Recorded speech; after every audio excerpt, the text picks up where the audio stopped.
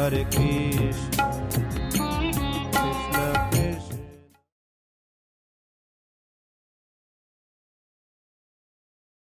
वयं तु न स्वादु पदे पदे। शवनकादि मुनि कहे, सुत गोस्वामी से कह रहे थे, हम थके नहीं हैं। वयम तो न वित्रप्याम। क्या हम तृप्त भी नहीं हुए हैं। जैसे पी रहे हैं ये। भागवत पीयूष पान, श्रीमद् भागवत सुधा कथा। तो और पीने का और श्रवण करने की लालसा इच्छा जग रही है। तो जैसे शवनक आदि मुनि भी थके नहीं थे। आप थके हो क्या? कुछ लोग थके इसलिए बोल भी नहीं रहे। आप थके होते तो शायद आते ही नहीं तो आप पिबंती ये भगवत आत्मन सताम। कथामृतम श्रवण पुटेशु जब हम श्रीमद् भागवत के कथामृत का पान करते हैं, ये पान तो मुख से नहीं, ये कान से होता है श्रवण पुटेशु तो पिबंती जब हम पीते हैं कथामृत तो फिर क्या होता है? वे आगे कहते हैं, पुनंत, पुनंती। पिबंती का परिणाम है, फल है, पुनंती हम लोग पवित्र हो जाते हैं। ते विषय विदूषित आशयम। Polluted aim of life Srila Prabhupada इसका अनुवाद करते हैं। हमारे जीवन का, हम लोग ऐसे लक्ष्य बनाए हैं वो दूषित है लक्ष्य। कलुषित है वो लक्ष्य। हमारे जीवन का ध्येय लक्ष्य। उसका क्या होगा? उसकी सफ़ाई होगी, पुनंती, उसमें सुधार होगा। और हमारा, हमारे जीवन का लक्ष्य भी स्पष्ट होगा। और क्या लक्ष्य है? आगे कहते हैं। तो पहले हुआ पिबंती पिएँगे दूसरा क्या है? पुनंती हम लोग शुद्ध होंगे, हमारे जीवन का लक्ष्य, हमारी भावना ही शुद्ध होगी। भाव शुद्ध होंगे, विचार शुद्ध होंगे, फिर आचार भी शुद्ध होगा, फिर हम प्रचार भी, शुद्ध प्रचार भी कर सकते हैं। Everything clear Krishna consciousness means clear consciousness Srila Prabhupada कहा करते थे। कृष्ण भावना मतलब क्लियर स्पष्ट, स्वच्छ, विचार या भाव। तो वह श्रीमद् भागवत के श्रवण से ये होता है पुनंती और फिर सुखदेव गोस्वामी कह रहे व्रजंती। वे जाते हैं, पहले पीते हैं, फिर शुद्ध होते हैं, पुनंती, फिर पहुँच जाते, कहा, तत्चरण सरोरुह अंतिकम। भगवान के चरणों तक जो कमल सदृश है, चरण कमलों तक पहुँचता है वह व्यक्ति, जो पीबंदी जो पीता है श्रीमद् भागवत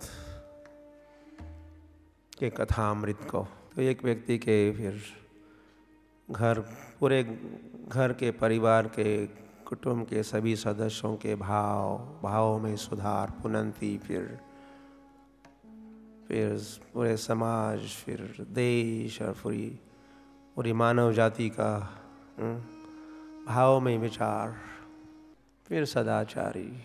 ऐसा तो अनुभव हम नहीं कर रहे हैं। जहाँ भी देखते हैं वहाँ कुछ अनाचार, कई व्यभिचार, कई भ्रष्टाचार, कई दुराचार।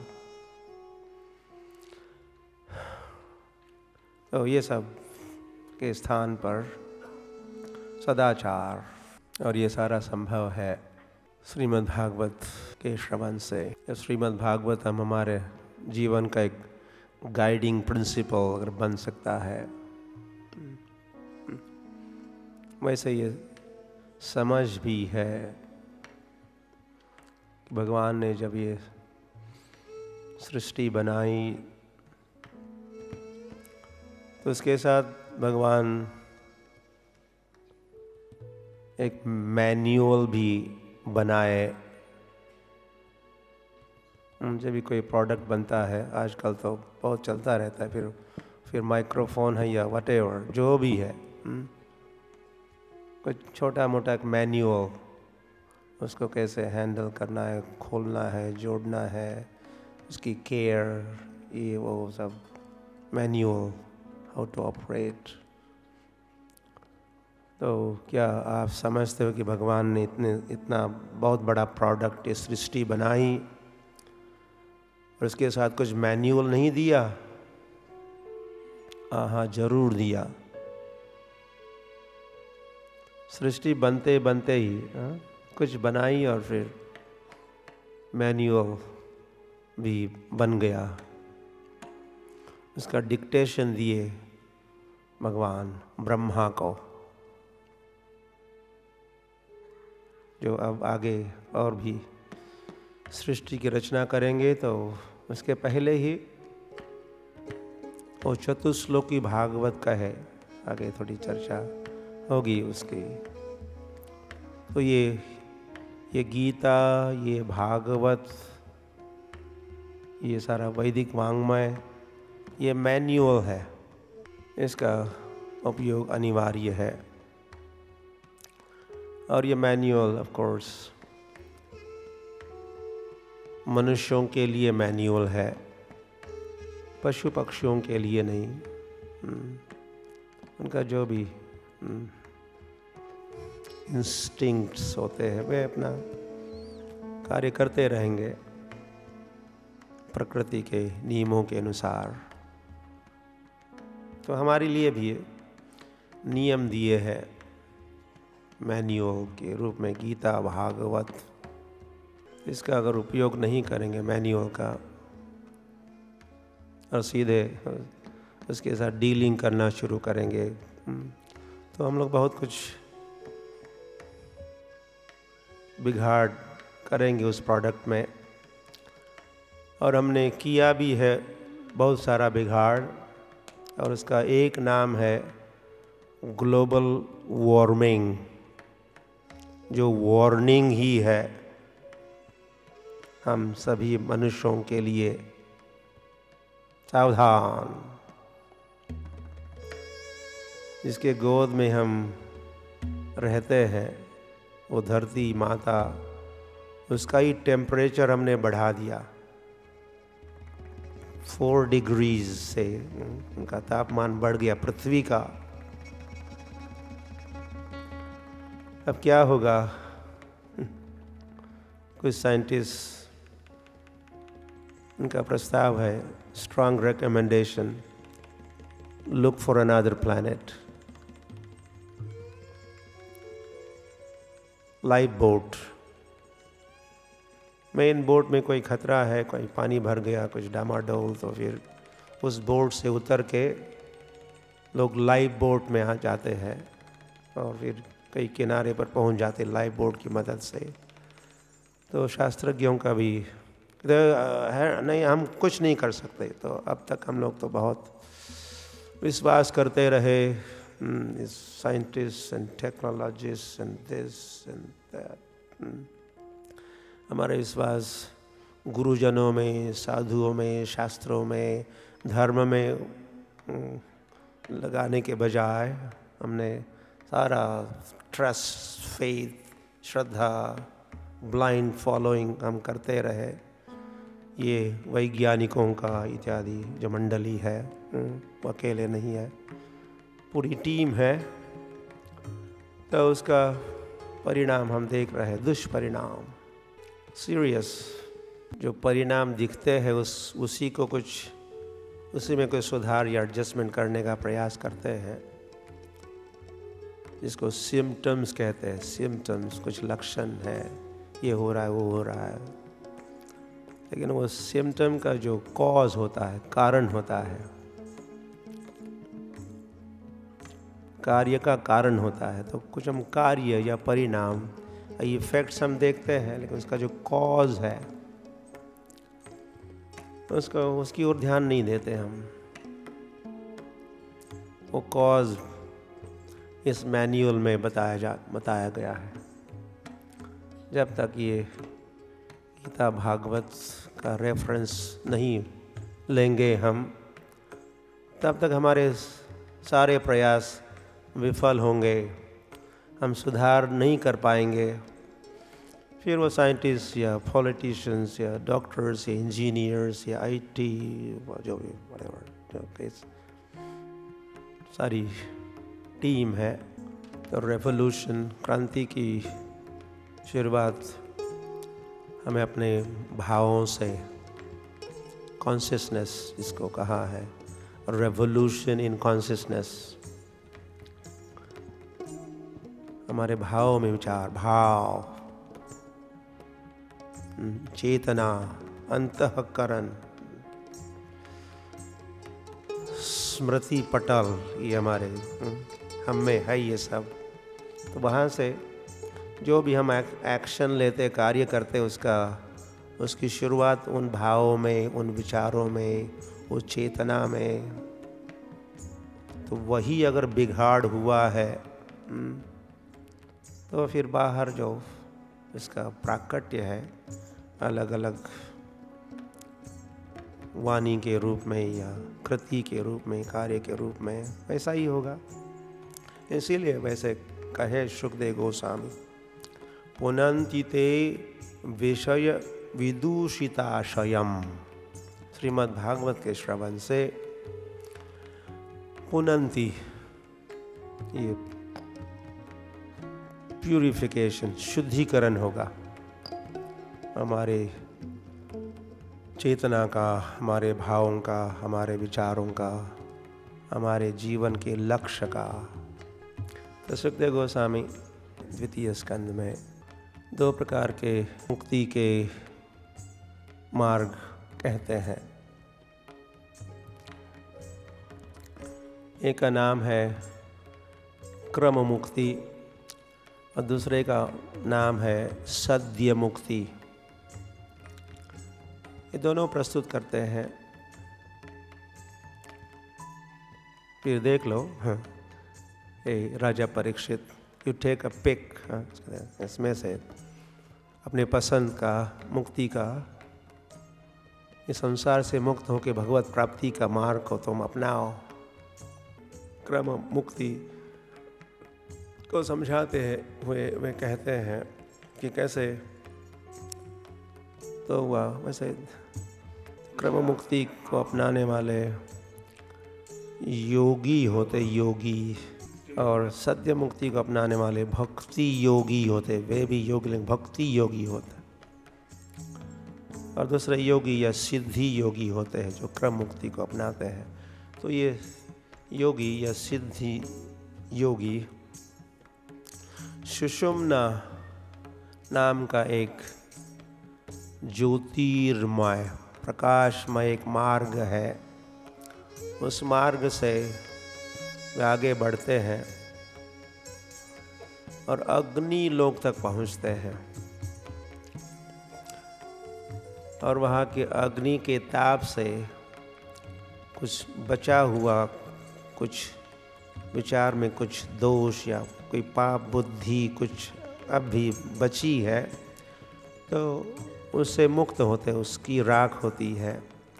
वहाँ से आगे बढ़ते हैं, फिर बना कहते, शिशुमार नामक एक चक्र है जैसे गर्भदक्ष विष्णु के नाभि को भी ये शिशुमार चक्र कहा जाता है। वहाँ योगी पहुँचता है। उसका लक्ष्य तो वैसे भगवान का धाम है, लेकिन वाया सत्यलोक या ब्रह्म लोक होते हुए वो भगवान के धाम लौटना चाहता है। और वो सीधे ब्रह्मलोक भी नहीं जाता, जिसको सत्यलोक भी कहा है। जैसे जा ही रहा अग्निलोक, फिर शिष्युमार चक्र, फिर वहाँ से आगे बढ़ता है और पहुँच जाता है महर लोक में। जहाँ पर वो ब्रह्मा के एक दिन तक वहाँ रहता है।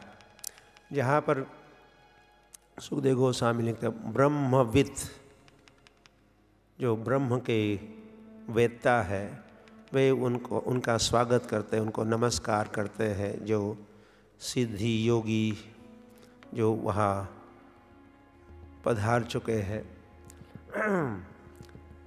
फिर ब्रह्मा के एक दिन के अंत में और ये घटना ब्रह्मा के हर दिन के अंत में घटती है अनंत शेष भगवान के मुख से ज्वालाएँ निकलती है और सारे ब्रह्मांड को जो जो न सके। जो पूरे ब्रह्मांड को आग लगाता, लगाती है वो ज्वालाएँ। ये ब्रह्मांड एक अंडे के आकार का है या टरबूजे के आकार का है कभी कभी का फुटबॉल की तरह है। और हम लोग इसके अंदर है तो ये योगी अब पहुँचा हुआ है महर लोक, जो स्वर्ग लोक से भी ऊँचा है। तो अब नीचे से जब आग लगती सारे ब्रह्मांड को, ये वैसे प्रलय का समय है, लेकिन प्रलय के भी दो प्रकार है। ब्रह्मा के एक दिन के अंत में प्रलय होता है, जो अंशिक प्रलय होता है। कुछ नीचे के लोग कुछ आधा ब्रह्मांड और ऊपर तक थोड़ी ज्वालाएँ पहुँचती है, लेकिन सत्य सत्यलोक तक नहीं पहुँचती। तो नीचे के लोग उनका प्रलय होता है, लय होता है। और ब्रह्मा जब जग जाते हैं, एक रात्रि के अंत में तो पुनः उसकी सृष्टि होती है। और ये ये प्रक्रिया हर दिन के अंत में और फिर पुनः उसकी सृष्टि उस रात्रि के अंत में। तो ये जब नीचे से आग लगने लगती है ब्रह्मा के एक दिन के अंत में तो योगी वहाँ से और आगे बढ़ते हैं ऊँचे और ब्रह्मलोक पहुँचते हैं जो ब्रह्मा का अपना लोक है सत्य लोक न यत्र शोको, न जरा, न मृत्यु वहाँ शोक नहीं है, वहाँ के लोग शोक नहीं करते हम्म। पंडित होंगे पंडित लोग क्या करते हैं? नानुसूचंदी पंडित, भगवान कहे तुम कैसा पंडित हम्म। बातें तो पंडित जैसी कर रहे हो, लेकिन तुम शोक जो कर रहे हो मतलब तुम पंडित नहीं हो। तो लेकिन सचमुच पंडित होते हैं। सत्यलोक के लोग ये योगी भी पंडित तो वे शोक नहीं करते, वहाँ मृत्यु नहीं होती, वहाँ उद्वेग नहीं किसी प्रकार का।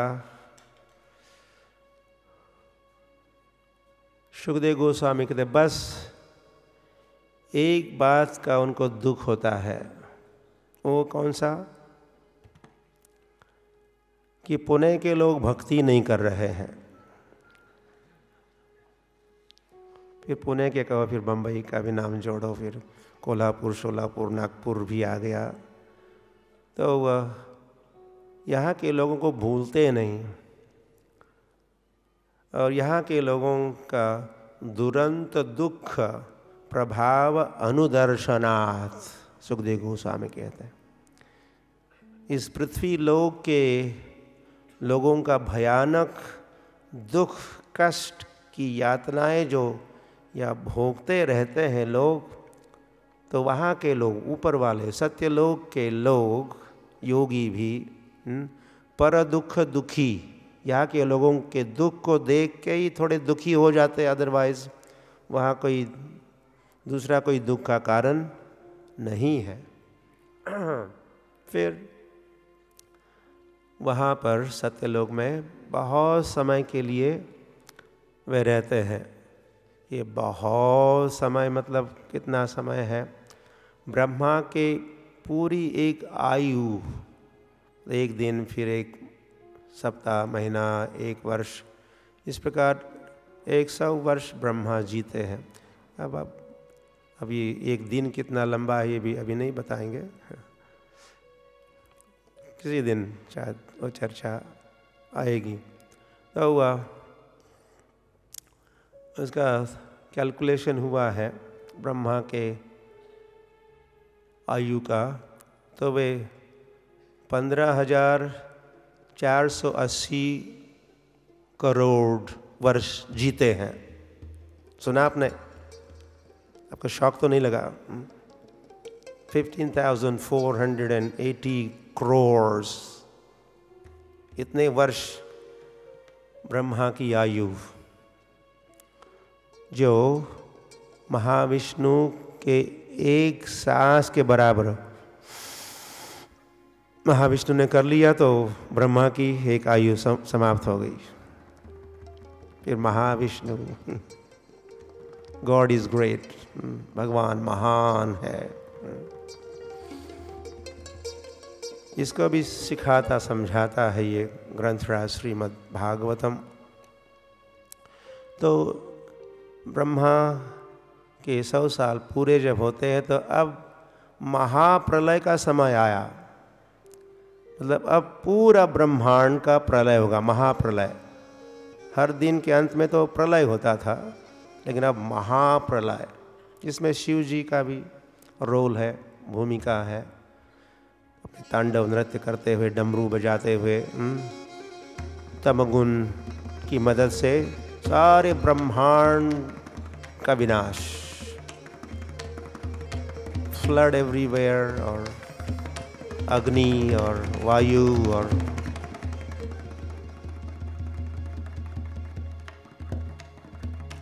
सारे पंच महाभूत अपना अपना कार्य निभाते हैं, विनाश में भी।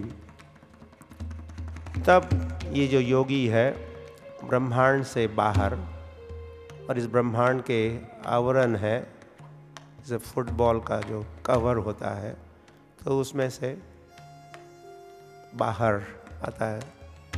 उसकी भी बताइए प्रक्रिया कैसे बाहर आता है। फिर पहुँचता है विरजा नदी तक, जहाँ पर स्नान करके फिर पार करता है।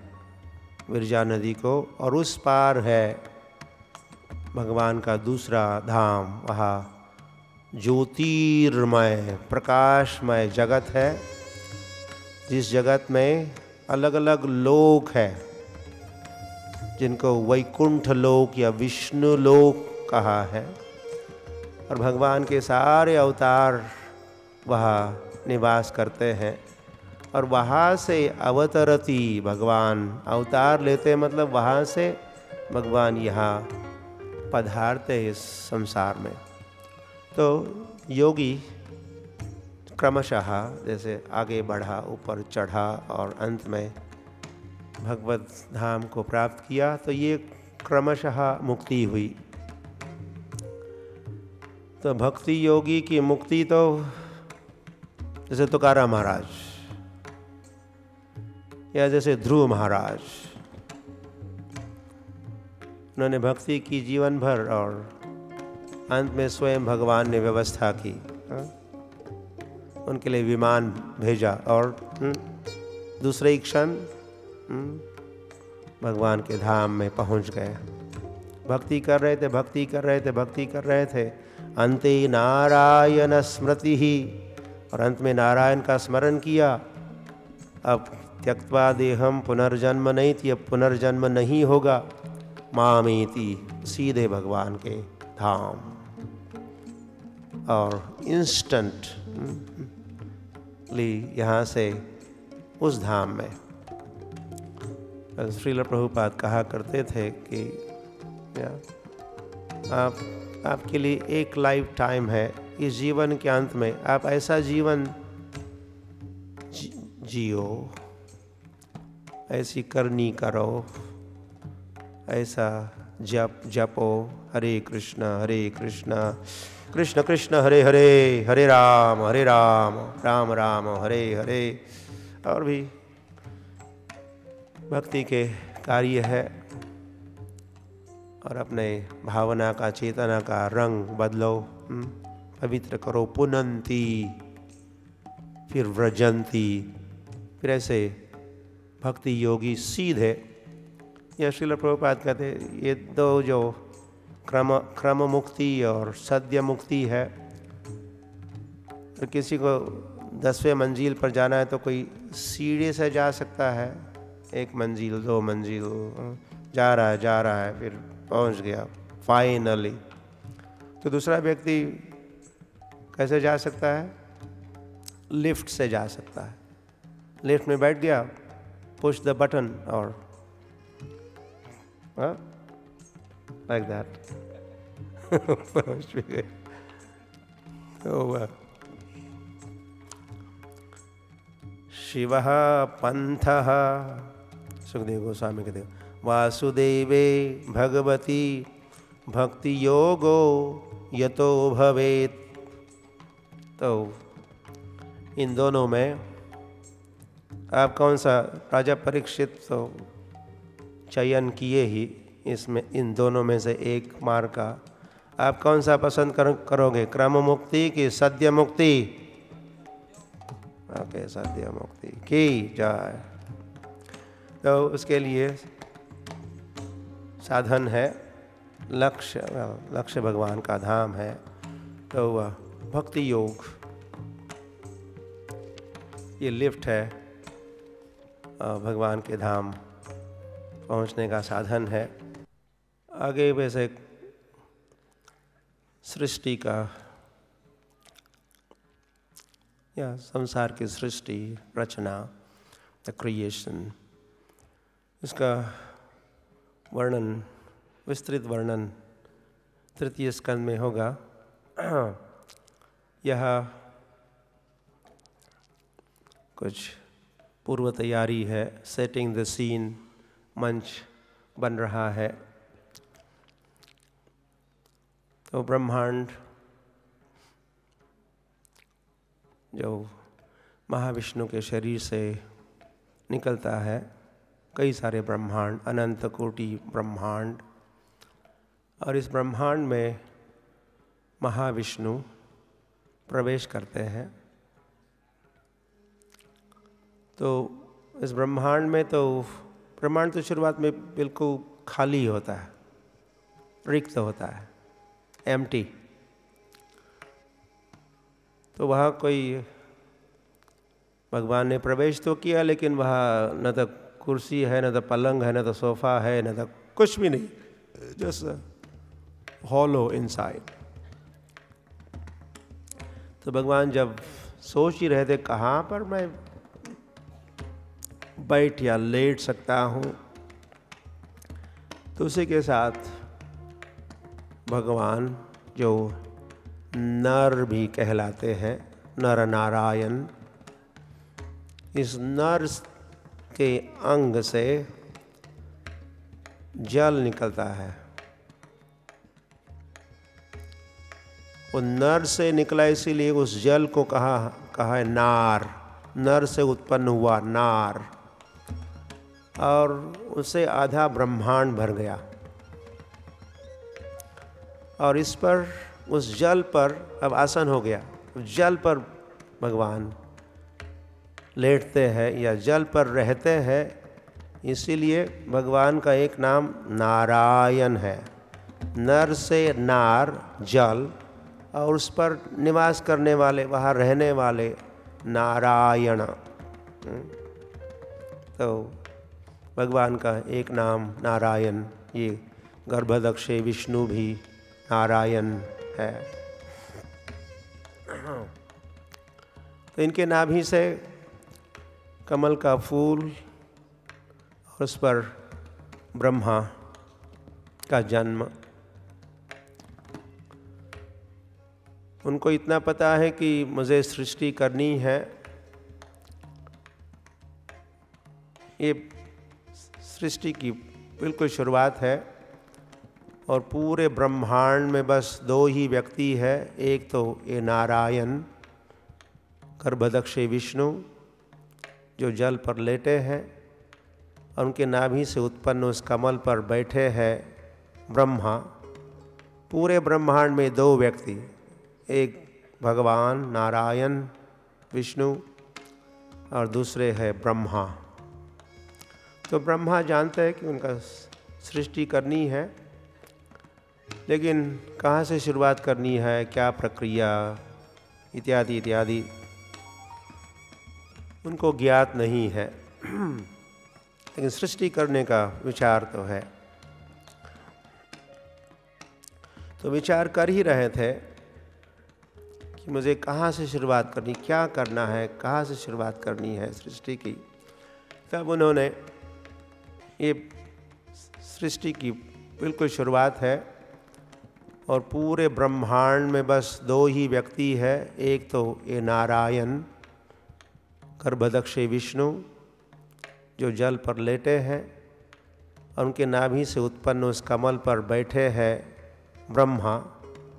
पूरे ब्रह्मांड में दो व्यक्ति, एक भगवान, नारायण, विष्णु और दूसरे है ब्रह्मा।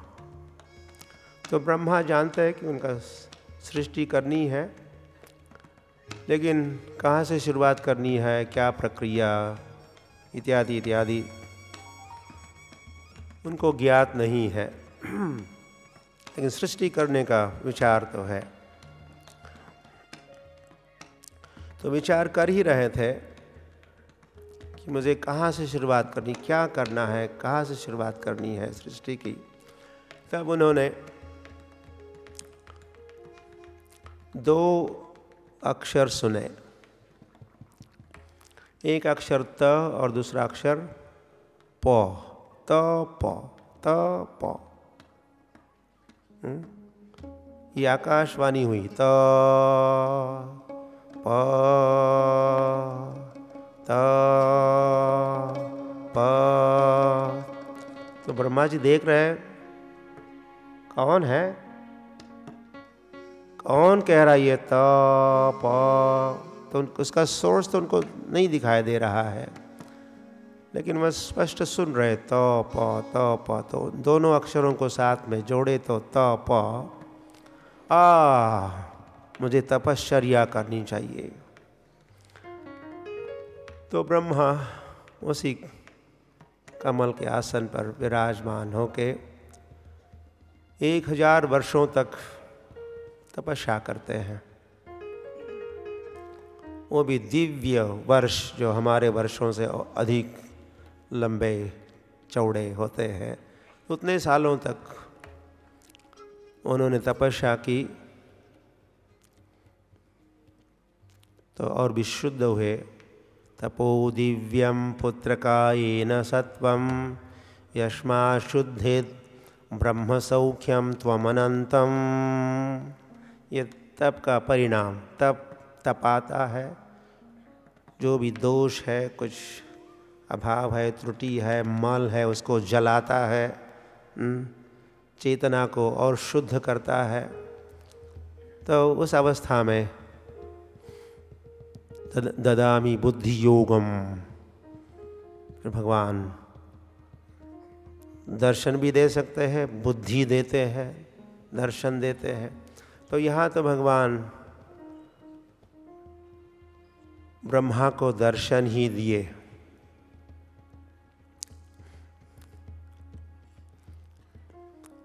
भगवान में से यहाँ पर, और भगवान तो अंडांतरस्थ, परमाणुचयांतरस्थम, भगवान तो सर्वत्र है। इस ब्रह्मांड में भी है, गर्भदक्ष विष्णु के रूप में। लेकिन अपने धाम में भी है, वैकुंठ में है। तो वैकुंठ के भगवान उनको दर्शन दे रहे हैं। ब्रह्मा जो कमल के आसन पर बैठे थे, उनको दर्शन हो रहा है। वही बैठे बैठे वैकुंठ में स्थित भगवान का वे दर्शन कर रहे हैं। सु, सुर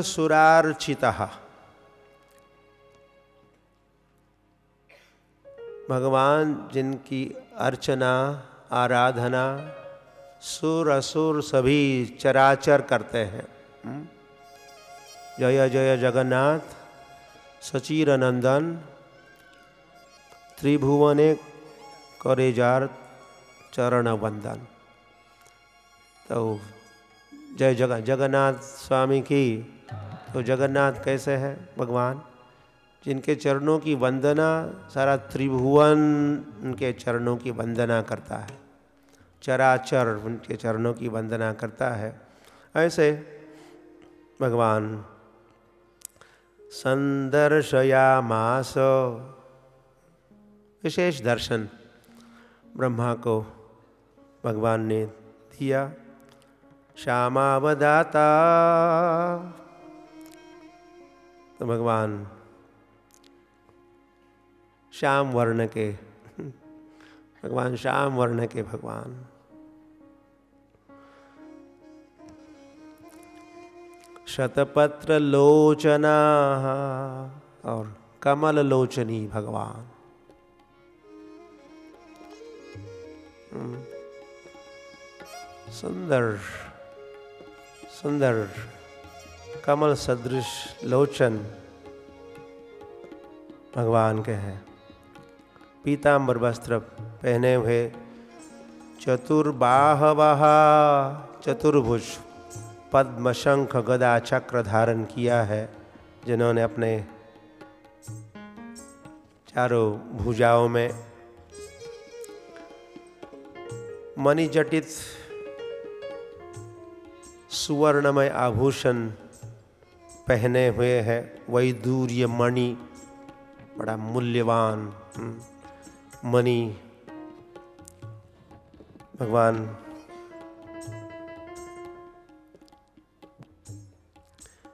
कुंडल पहने हैं माला पहने हैं। भगवान के अंग से भगवान के सौंदर्य की कोई सीमा ही नहीं हम्म। सौंदर्य की राशि निकलती रहती है, बिखरती रहती है हम्म। कोई सीमा नहीं उस सौंदर्य की और जिस सौंदर्य का वर्धन होते रहता है, सौंदर्य बढ़ते रहता है भगवान का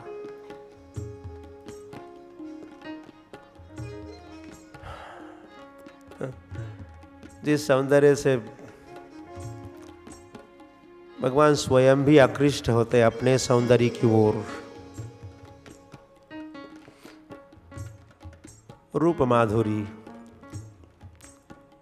वेणु माधुरी, कृष्ण के संबंध में कहा, वेणु माधुरी, रूप माधुरी, लीला माधुरी और प्रेम माधुरी, माधुर्य, मधुरता द स्वीटनेस भगवान के रूप का माधुर्य। उससे स्वयं भगवान आकृष्ट होते हैं।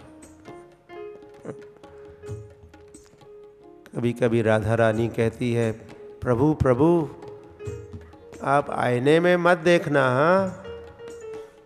अगर आप आईने में देखोगे तो फिर मेरी ओर आप देखोगे नहीं, मुझे पूछोगे भी नहीं आप।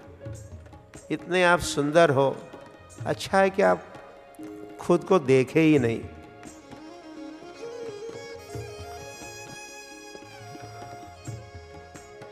तो ऐसे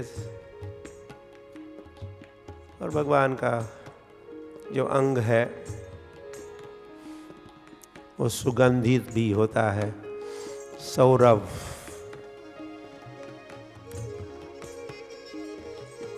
जहाँ भगवान बैठे रहते हैं, विराजमान होते वह सुगंध फैलते रहता है।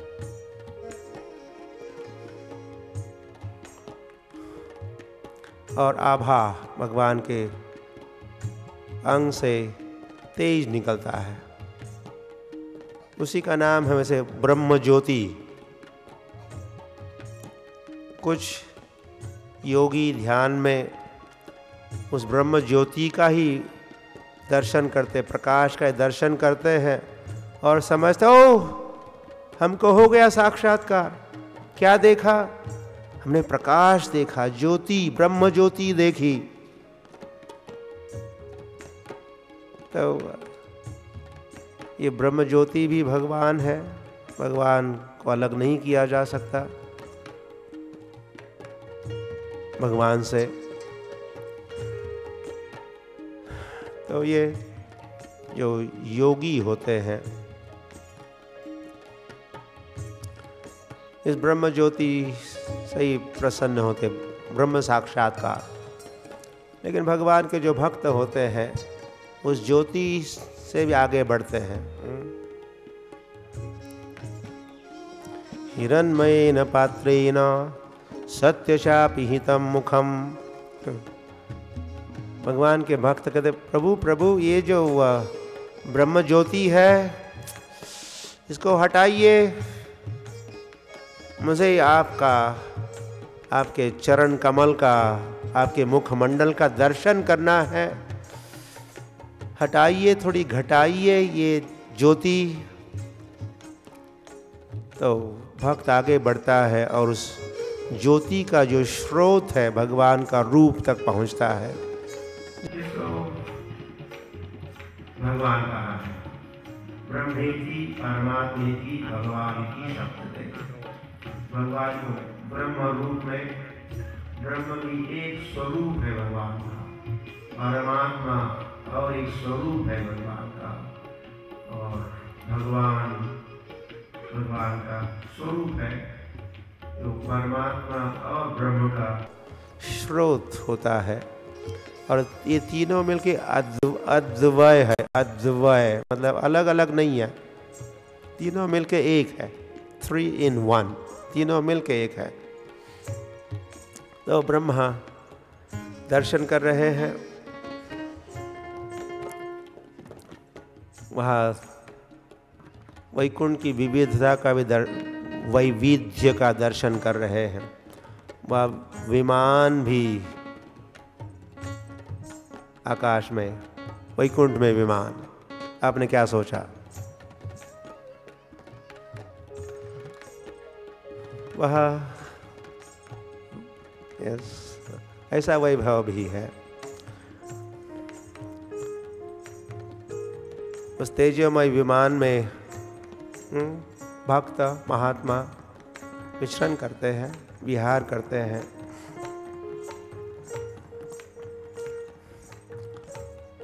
और भगवान नारायण विष्णु अपने धाम में उनके चरणों में लक्ष्मी है जो सदैव उनके उनकी सेवा करती रहती है।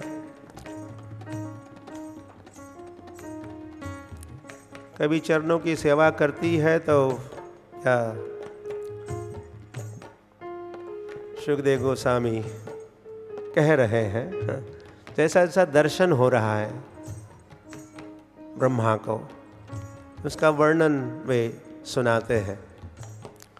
तो वो कहते कभी कभी लक्ष्मी झूले पर भी बैठती है और झूला जब झूल रही है तो अपने प्रभु का गुण गाती है। और इतने में वो लक्ष्मी के सौंदर्य और सौरभ मतलब सुगंध से आकृष्ट होके कई मधुमक्खियाँ वहाँ पहुँच जाती है। कुछ मालाएँ भी पहनी हुई है। फ्रेश फ्लावर्स और वैसे कि और लक्ष्मी का अंग भी सुंदर है और सुगंधित है, उससे आकृष्ट। हो के प्रिय कर्म गायती तो लक्ष्मी गा रही है जब भगवान का गुणगान तो ये भौरे, भ्रमर वो गुण गा रहे लक्ष्मी का गुण गा रहे हैं। ब्रह्मा वह केवल लक्ष्मी और नारायण ही है। वह काफ़ी जनता है, काफ़ी पॉपुलेशन है हाँ। और वे सभी चतुर्भुज वहाँ के लोग, और सभी मुगुट पहनते हैं, सभी कुंडल पहने हुए, बड़े सुंदर। अति सुंदर। बाप जैसे बेटे, उनका बाप तो भगवान ही है तो वैसे सारे पुत्र पुत्रियाँ बड़ी सुंदर, अति सुंदर और दिव्य सौंदर्य। बस तो जब वो समुद्र मंथन हो रहा था तो जो मणि मिला, कौस्तुभ मणि वो भगवान को दिया गया। तब से थोड़ा काम आसान हुआ, नहीं तो कोई भगवान को मिलने के लिए पहली बार जाता या वैकुंठ में प्रवेश करता। तो वहाँ के चतुर्भुज मनुष्यों को देख के उन्हीं को प्रणाम करने लगते। लेकिन वो कहते, नहीं नहीं नहीं आई एम नॉट गॉड आगे बढ़ो। तो उनको थोड़ा भ्रम पैदा होता था कि शायद ये चतुर्भुज है, कुंडल भी पहने, मुकुट है, ऐसा वर्णन हमने वो भागवत कथा में सुना था तो वैसे ही लग रहा है। लेकिन क्या देखना होगा? कौस्तुभ मनी है कि नहीं? जिस व्यक्ति के वक्षस्थल पर वो कौस्तुभ मनी है, वे है भगवान। ऐसा और भी। भगवान का सौंदर्य तो भगवान का सौंदर्य है, अन्यों का भी अपना, अन्य जनता का अपना कुछ सीमा तो है अंतर तो है उससे भी भगवान हम्म, की आईडी भगवान को I am I am God ऐसा कुछ पहन के घूमना नहीं पड़ता है। मैं गॉड हूँ लॉर्ड तो कौस्तुभ मनी पहने हुए हैं और ये जो ब्रह्म ज्योति है और सौंदर्य है और देखा जाता है कि सुनंद नंद, प्रबल अरहण ऐसे भगवान के मुख्य मुख्य पार्षद है। उनको देखने से भी जहाँ ये सुनंद, ये प्रसिद्ध है, सुनंद, नंद जहाँ है, जिनकी सेवा कर रहे हैं मतलब वे वे भगवान है, वे वे नारायण है। तो ब्रह्मा ने जब दर्शन किया है। तो हर्षित हुए हैं ब्रह्मा। पुलकित हो उठे हैं ब्रह्मा। ब्रह्मा के आँखों से, नेत्रों से प्रेमाश्रु धाराएँ बह रही है। प्रिय प्रियम प्रीत मन करे स्प्रशन और अब तो भगवान को, ब्रह्मा को उस स्थिति में, उस मन स्थिति में, उस भाव भक्ति में भगवान ने देखा है। तो भगवान आगे बढ़े हैं और ब्रह्मा के समक्ष आके उन्होंने ब्रह्मा के साथ हाथ मिलाए शेक हैंड हुआ है।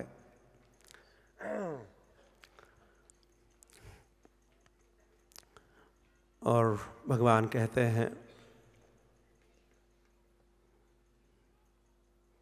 कुछ समय पहले मैंने देखा कि तुमको पता नहीं चल रहा था सृष्टि का कार्य कैसे प्रारंभ करना है। कर्म विमोहिते। तुम संभ्रमित लग रहे थे। किम कर्तव्य विमूढ़ता? करे कि न करे? क्या करे? कैसे करे? तो अब भगवान कह रहे, मैं ही तो था। जिन्होंने वो त, प त, प कहने वाला मैं ही तो हूँ। तपो में हृदय साक्षात। और भगवान कहते, तप मेरा हृदय है। आत्मा हम तपसो अनघ। और मैं स्वयं तपस्या का आत्मा हूँ। सृजामी तपसैव इदम तो इस सृष्टि की रचना तपस्या से ही होती है। तपस्या से ही इसका पालन होता है और तपस्या से ही अंत में इसका विनाश भी होता है। दुश्चरम वीरियम में दुश्चरम तपह तो ऐसी ये मेरी तप, तपस्या नामक शक्ति है, दुर्लंघ्य है, इसको पार करना कठिन है, बलवान है ये। शक्ति इसमें सामर्थ्य है, वीर्य है। तो ब्रह्मा, दो शब्द भगवान के समक्ष कहते हैं, अपना साक्षात्कार ही। मैं कहते कि प्रभु, मुझे उस मकड़ी का ऊर्ण नाभि एक मकड़ी स्पाइडर उसका स्मरण होता है। वो अपने ही शरीर से या मुख से कुछ हम्म, लार या निकालता है। उसे अपना सारा जाल या उसका अपना घर सृष्टि करता है। और फिर उसको अपने शरीर में पुनः भी हम्म, अंदर लेता है समेट लेता है। तो आप भी वैसे ही करते हो। सृष्टि आपसे ही उत्पन्न होती है फिर आप में ही स्थित होती है। और आप में ही पुनः प्रवेश करती है तो आप पूर्ण नाभि के साथ आपकी तुलना इसमें तुलना ही है। अब मैं सृष्टि करूँगा। ब्रह्मा कहते हैं, एक तो आपने मुझे दर्शन दिया, आप यहाँ पधारे, आपने हाथों में हाथ मिलाया, एक मित्रता का संबंध स्थापित किया। इसे मुझे कुछ घमंड या गर्व उत्पन्न न हो, प्रभु।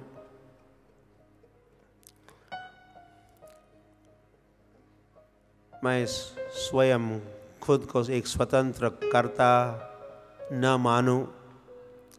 ऐसा ऐसा कुछ करो, ऐसी बुद्धि दो, मुझे विनम्र बना दो। तृणादपि न तरोरपि सहिष्णुना अमानिना मानदेन कीर्तनीय। सदा हरिता क्या आपका मैं गुण गाथा, गौरव गाथा, गाता रहूँ। और उसके लिए मुझे विनम्र बनाइए, सहनशील बनाइए। औरों का सत्कार, सम्मान करने वाला बनाइए। ये दो शब्द होने के बाद भगवान अब चार शब्द कहेंगे। जिसको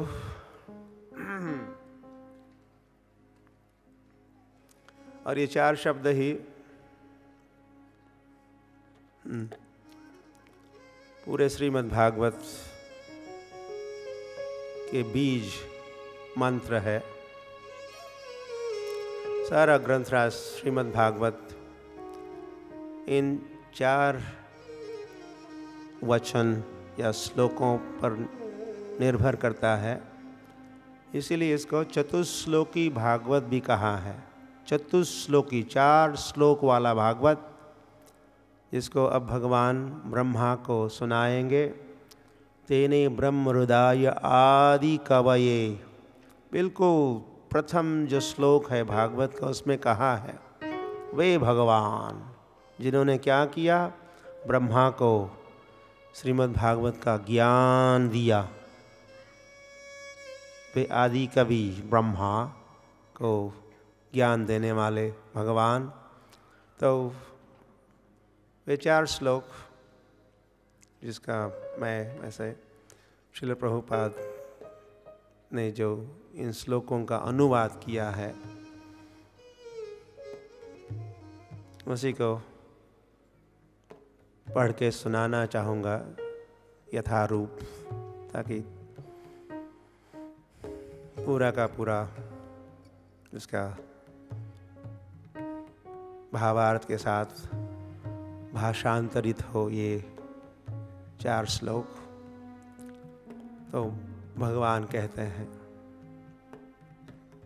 हे ब्रह्मा, वह मैं ही हूँ जो सृष्टि के पूर्व विद्यमान था,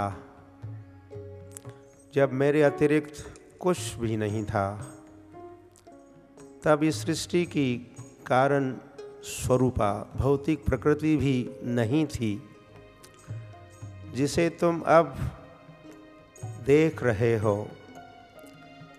वह वह भी मैं ही हूँ, और प्रलय के बाद जो शेष रहेगा, वह भी मैं ही हूँ, भगवान आगे कहते हैं।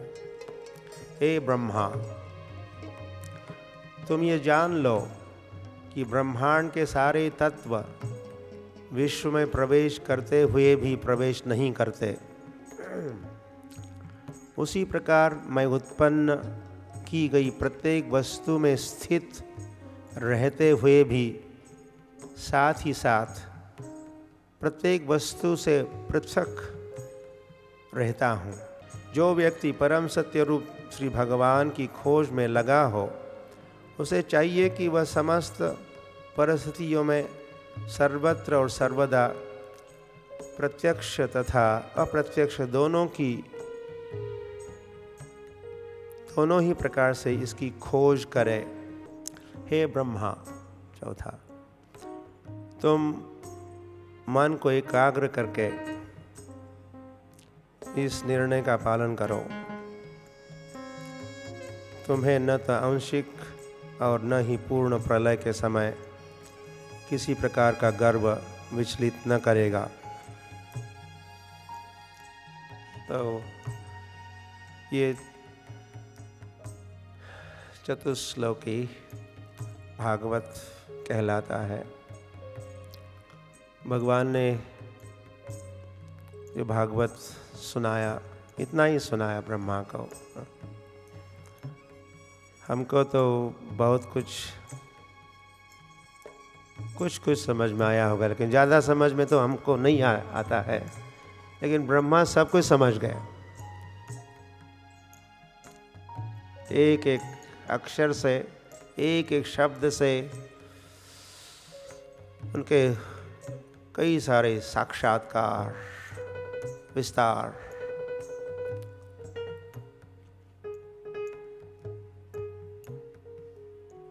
और भगवान की मदद से ही उसको, उसका तात्पर्य, उसका गूढ़ अर्थ, उसका भावार्थ ब्रह्मा समझते हैं। और इसी भागवत को अपने साक्षात्कार किए हुए विस्तृत भागवत को वे नारद जी को समझाते हैं। जो ब्रह्मा जी के पुत्र है, ब्रह्मा जी के शिष्य भी है।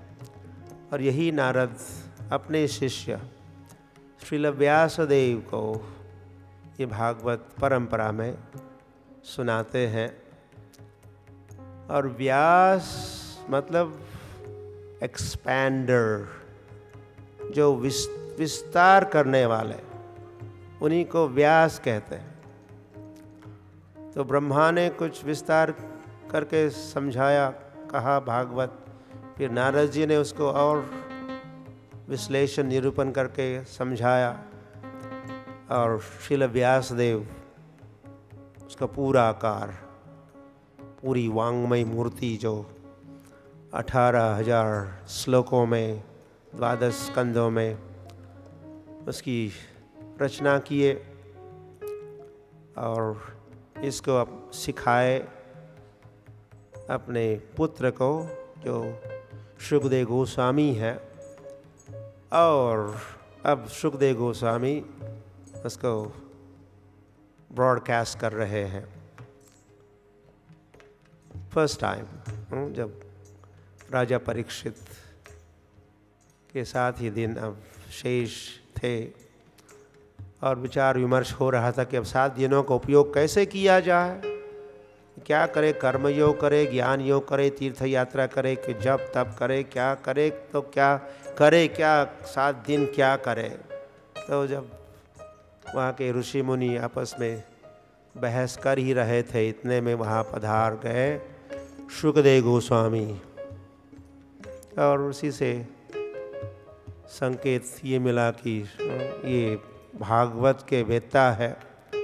इनका यह पधारना आगमन, इससे स्पष्ट होता है कि यह तो राजा परीक्षित को सात दिन, सात रात्रि तक भागवत की कथा का श्रवण करना चाहिए। तो फिर भागवत कथा प्रारंभ हुई और तब से संसार भर में, संसार को ये भागवत प्राप्त हुआ। मैन्युअल प्राप्त हुआ। पूरा ज्ञान ज्ञान विज्ञान सहितम।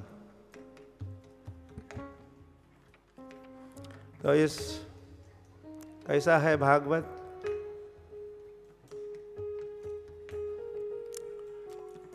तो इस भागवत के दस लक्षण सुखदेव गोस्वामी ही सुना रहे हैं राजा परीक्षित को। अत्र मतलब इस भागवतम में, सर्गो विसर्गश्च स्थानम पोषणम ऊतया मन्वन्तरेशानुकथा निरोधो मुक्तिराश्रय। तो इसके दस लक्षण कहे इस श्लोक में। और फिर आगे के कुछ श्लोकों में हर एक लक्षण को संक्षिप्त में उसको समझाए, जिसको हम समझने का किंचित सा प्रयास करेंगे। और वे आगे कहे, ये दस लक्षण कहे और फिर कहते, ये जो दसवा है लक्षण जिसको वे आश्रय कहे हैं। दसवा लक्षण है आश्रय। और दूसरे जो नौ लक्षण है, वे इस दसवें और अंतिम आश्रय नामक लक्षण को प्रकाशित करने के लिए ये दूसरे नौ लक्षण है। यह आश्रय तो भगवान है।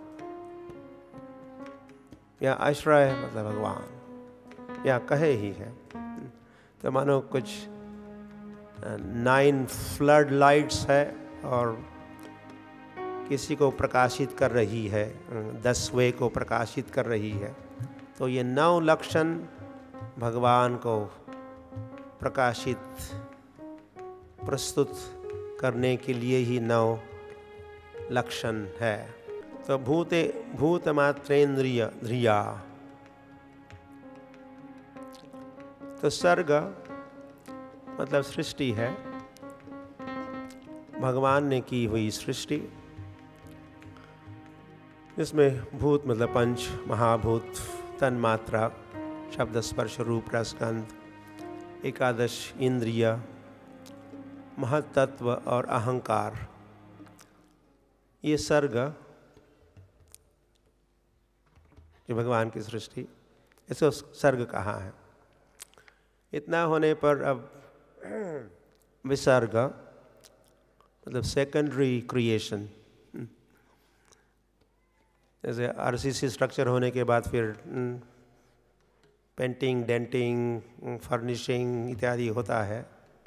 तो अब ब्रह्मा टेक ओवर करेंगे और आगे का सर्ग के बाद विसर्ग।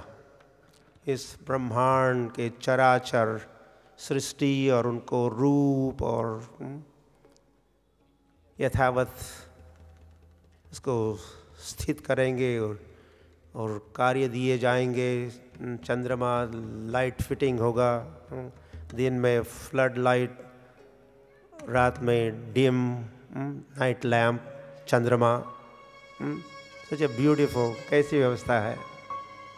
ताकि आप मतलब रात्रि का समय विश्राम का है। लोग अभी दिन को रात और रात को दिन कर रहे हैं, ये ये कृत्रिम जीवन हुआ। भगवान की व्यवस्था के अनुसार दिन में कार्य करो, रात्रि के समय विश्राम का भी समय है। शरीर के लिए विश्राम भी चाहिए। तो हाँ। तो सर्ग विसर्ग स्थानम तो हुआ जैसे सृष्टि बनते ही वैसे,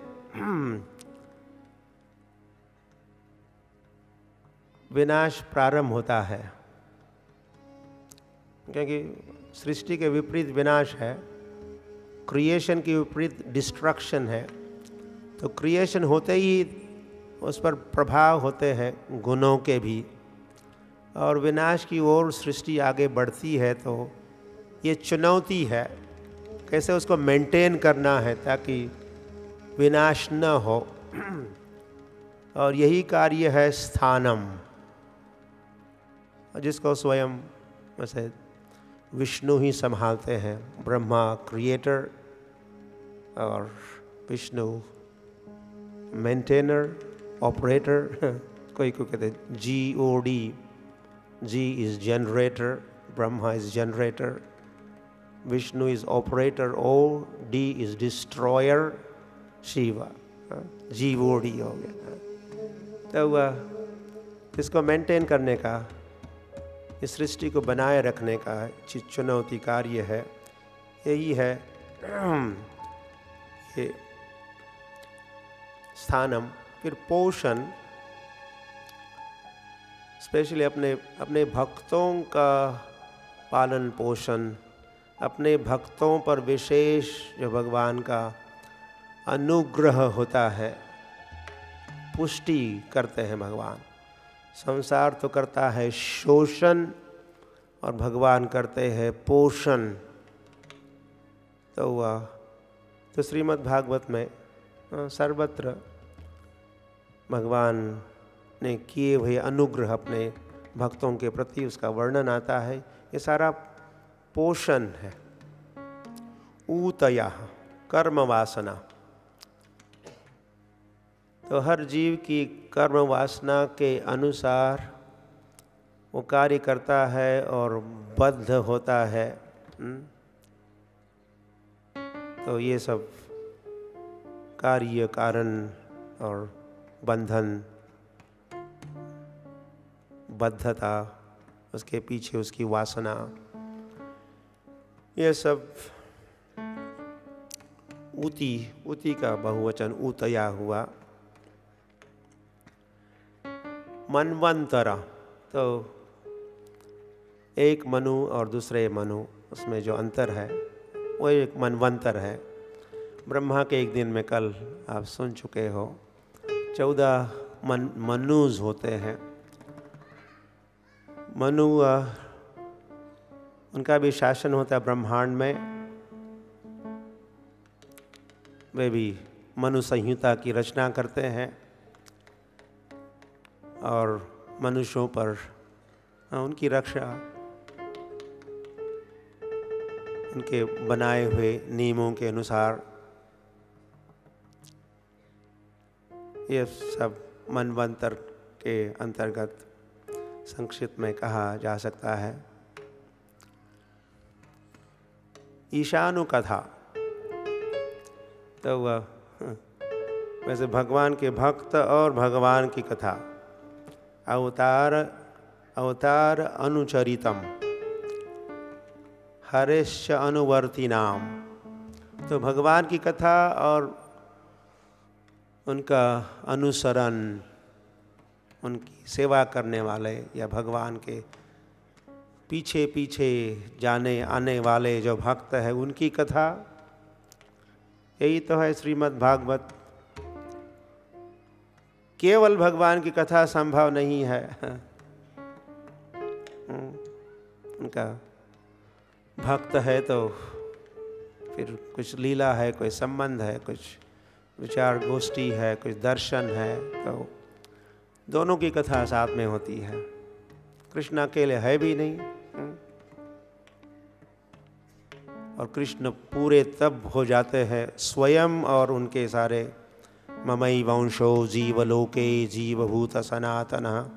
उनके अंश भी, उस उस अंशी के ही तो अंश होते हैं।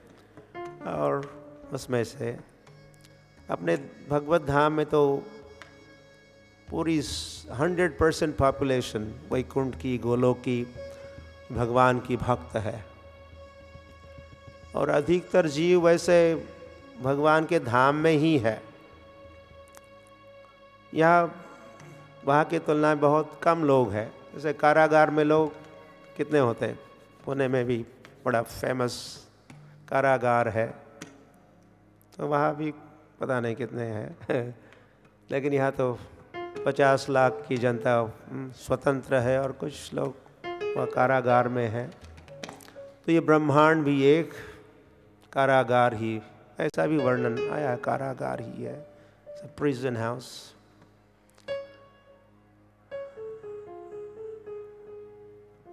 हुआ?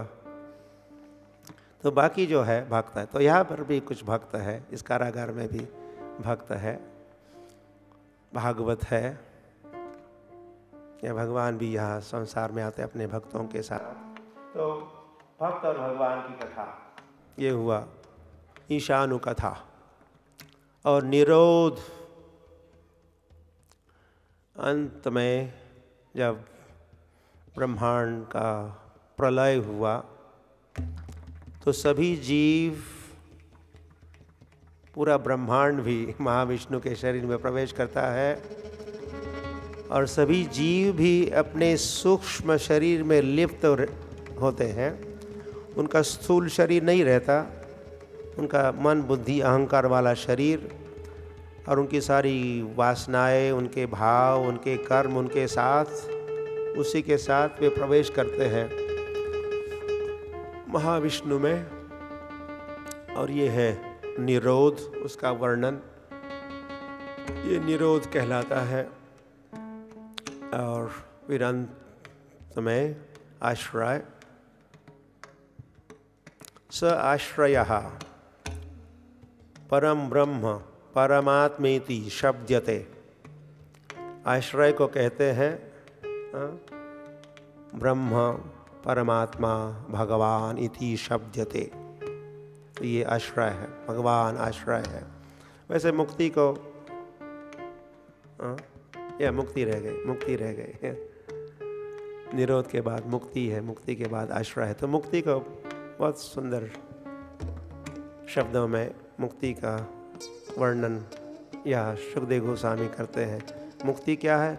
मुक्तिर हित्वा अन्यथा रूपम स्वरूपेण व्यवस्थिति। ही मुक्ति उसको कहते हैं हित्वा अन्यथा रूपम।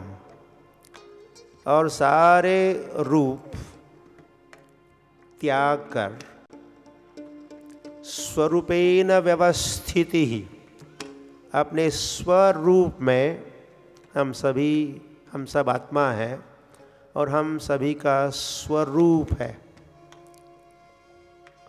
आत्मा का रूप है, आत्मा का फॉर्म है, आत्मा का नाम है, आत्मा के अंग अवयव है, आत्मा का कार्य है, आत्मा का संबंध है भगवान के साथ।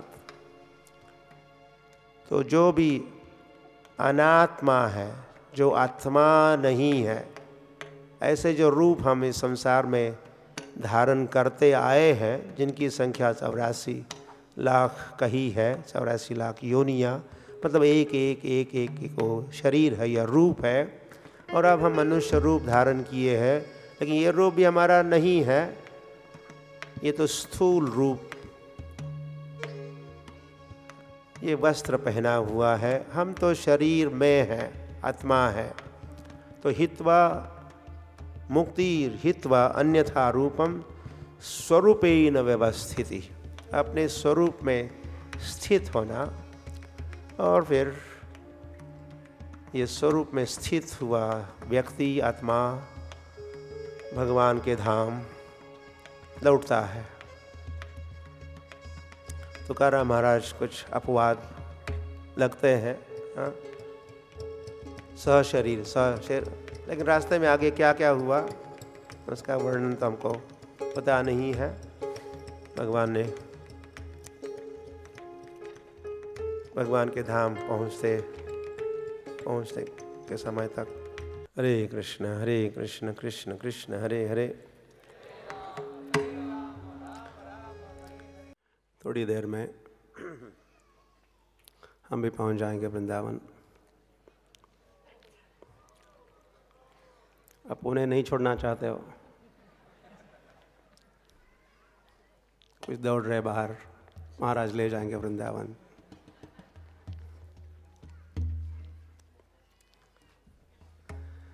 वैसे सुखदेव गोस्वामी ले जाएँगे।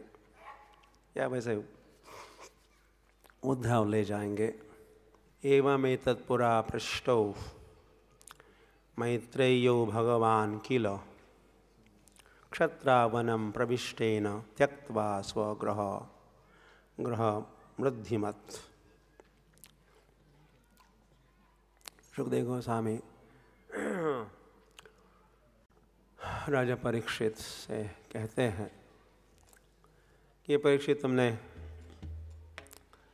कई सारे प्रश्न मुझे पूछे हैं।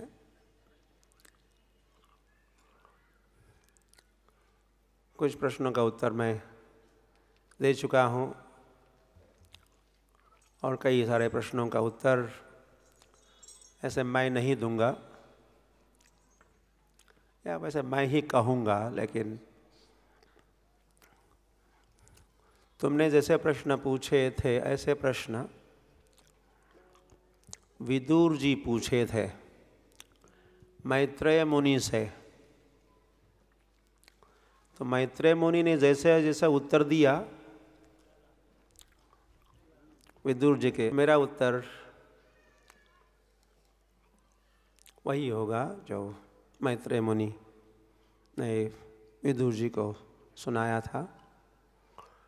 कि तुम्हारा प्रश्न विदुर जी के प्रश्न जैसा ही है। कल हम कह कह चुके थे कि कोई वैसे नया प्रश्न पूछ नहीं सकता।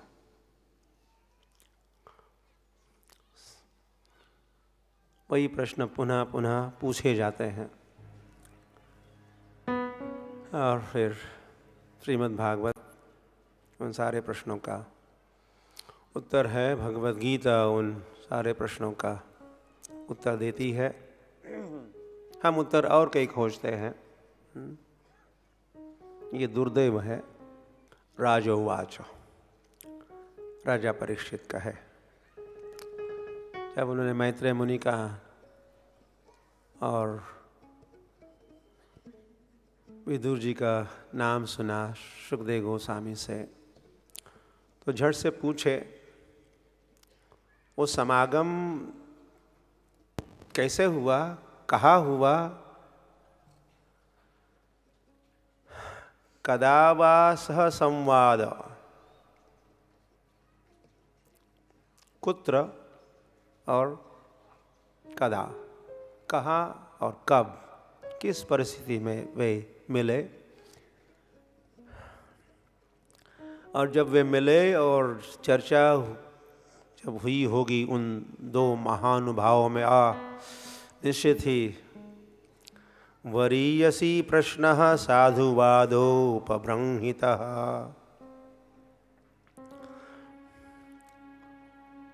विशेष उस समागम होगा उच्च कोटि के दो महात्मा दो भगवत भक्त मिले। बोधयंत परस्परम कथयंत माम नित्यम तुष्यंती च रमंती च, जैसे भगवान कहे। मेरे भक्त जब इकट्ठे आते हैं, क्या करते हैं? बोधयंत परस्परम। एक दूसरों को कथा सुनाते हैं, कुछ बोध कराते हैं उस बोध का मैं ही विषय रहता हूँ। क्योंकि मच्चित्त मदगत प्राण उनका चित्त मत चित्त मुझमें उनका चित्त चिपका रहता है, लगा रहता है। और उनका सारा जीवन ही प्राण ही समर्पित होता है। मत प्राण। तो फिर वे जब बोधयंत परस्परम करेंगे तो कथयंत क्षमा नित्यम तुष्यंती च रमंती च। मेरी कथा होगी। उसमें रमान होंगे, उसमें संतुष्ट होंगे। यही है जीवन। महात्माओं का, दुरात्माओं का जीवन अलग है। वैसे वो जीवन नहीं, वो मरण होता है। जीवन है तो महात्माओं का जीवन।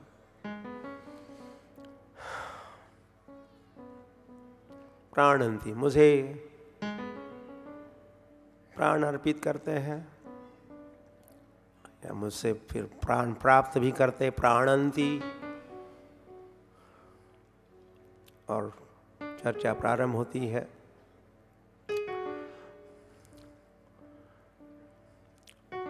तो वह इन्होंने तो कहा कि मैत्रेय और विदुर जी का संवाद मैं सुनाऊँगा। वो तो थोड़ा आगे बढ़कर वो संवाद आएगा। इसके पहले और एक संवाद। उद्धव और विदुर जी का संवाद, जो थोड़े समय के लिए रहा। और फिर उद्धव कहे थे कि आगे की बातें विदुर जी सुनाएँगे मैत्रेय सुनाएँगे।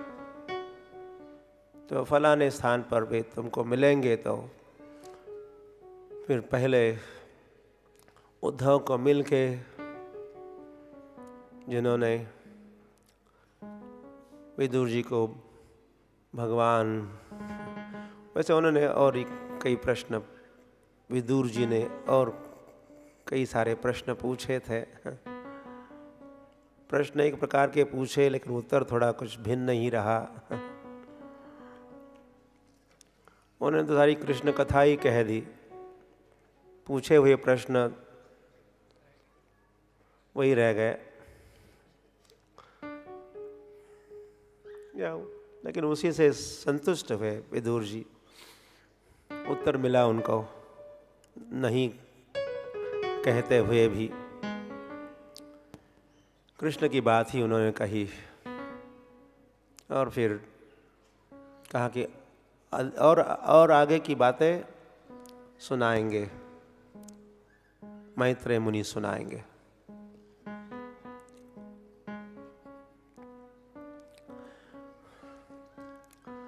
तो पहले ये विदुर और उद्धव कैसे मिले? ये प्रश्न उन्होंने राजा परीक्षित तो नहीं पूछे थे, लेकिन ये भी आपका प्रश्न हो सकता है। वे कैसे मिले? कहाँ मिले? क्यों मिले? तो फिर इसका इतिहास। महाभारत। सुखदेव गोस्वामी सुनाते हैं। और जब सुखदेव गोस्वामी सुनाए महाभारत, ऐसे विचार आया। वो, उस समय वो इतिहास तीस साल पुराना था मतलब वैसे ताज़ा ही था, फ्रेश। अभी तो पाँच हज़ार से भी अधिक वर्ष बीत चुके हैं हमारे लिए, और एक समय दस हज़ार साल पुराना भी होगा और पंद्रह साल और लाइक दैट लेकिन सुखदेव गोस्वामी जब सुनाते हैं ये इतिहास या घटना प्रसंग तो वह कुछ हम्म, वैसे तीस साल बीते थे भगवान के प्रस्थान में और उसके पहले की ये घटनाएँ तो हो सकता है पचास एक वर्ष पूर्व की घटना सुखदेव स्वामी सुनाते हैं। तो विदुर जी, जो हस्तिनापुर में रहते थे, केवल रहते ही नहीं थे, धृतराष्ट्र जो राजा थे, उनके बड़े मंत्री, प्रधानमंत्री भी कहते हैं। ऐसी बड़ी पदवी थी। वैसे दोनों भाई थे, तीन भाई थे, पांडु, धृतराष्ट्र और विदुर। माताएँ अलग अलग तीन माताएँ, लेकिन कॉमन फादर श्री व्यासदेव विदुर, बड़े सुंदर थे विदुर। विदुह, विद, जानकार थे, विद्वान थे, इसीलिए भी विदुर नाम से। उनकी नीति विदुर नीति नाम से प्रसिद्ध है जगह प्रसिद्ध है। तो सलाह। मंत्रियों के पास मंत्रियों के पास मंत्र होते हैं। हम्म। राजा कहीं अटक जाता है तो मंत्री के पास पहुँचता है और कोई मंत्र है? हम्म, कोई मंत्र है?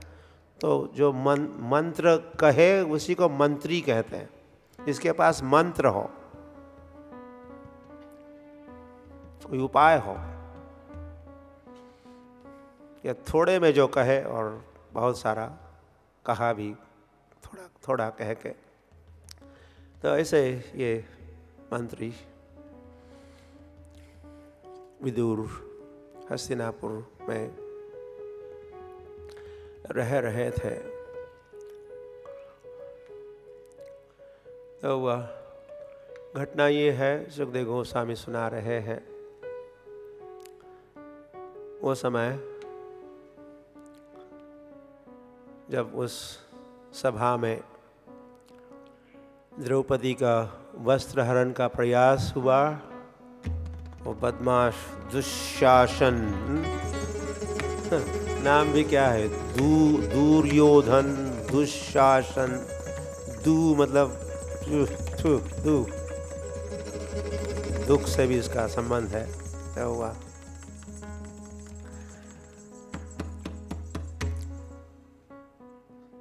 स्वास्त्र हरंत्या कुछ कुमकुमानी थोड़ा अधिक ध्यान जा रहा है उनका। भरी सभा में, भरी सभा। और सभी के समक्ष द्रौपदी का वस्त्र हरण। और सभी को पुकार रही है, असहाय बेचारी। आँसू बह रहे हैं और बहे हुए आँसू उसके वक्ष स्थल पर जो कुमकुम या केशर है, उसको धोते हुए गिर रहे हैं, ऐसी स्थिति। लेकिन उस धृतराष्ट्र ने भी उस कृत्य को नहीं रोका। उसके पहले कहा है प्रवेश लाक्षा भवने ददाह। उन दुष्ट कौरवों ने जिनका लीडर और दुर्योधन,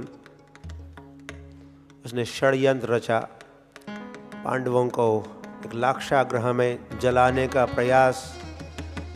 सुखदेव गोस्वामी के तो उनको, उन्होंने जला दिया, और सारा प्रयास तो हुआ।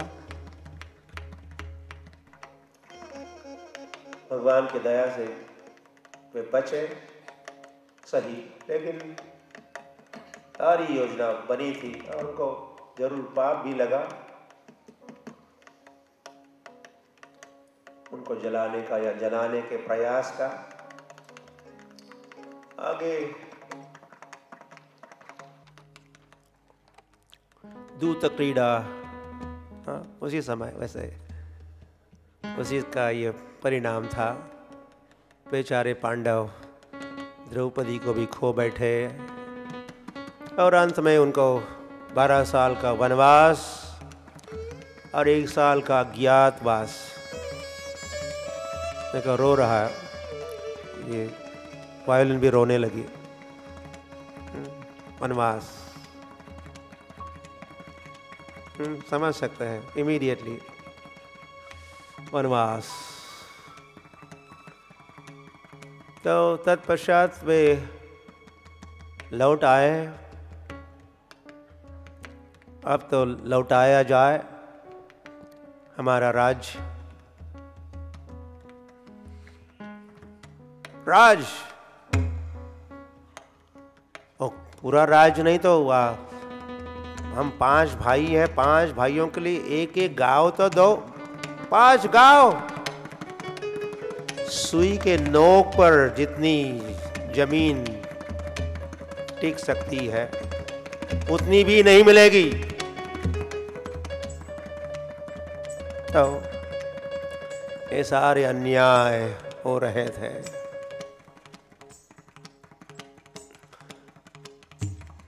मेरे चल बसने के बाद संभालो मेरे पुत्रों को। तो इस प्रकार संभाल रहे थे चाचा। धृतराष्ट्र और सब चचेरे भाई भी।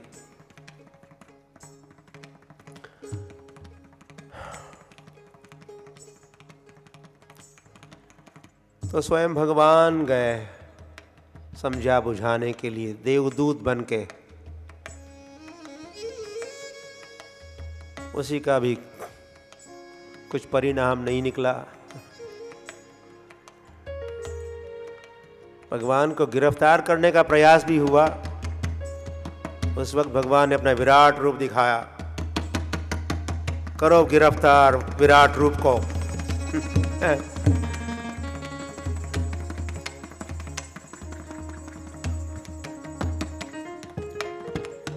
बहुत बढ़िया भोजन तो बनाया था।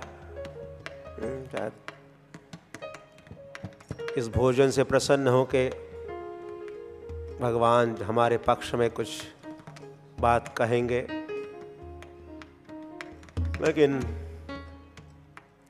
छप्पन भोग या जो भी था, भगवान को आ गई। ये तो बदबू आ रही है इस भोजन कि। उसका भाव जो था, भाव, भगवान तो भाव के भूखे होते हैं।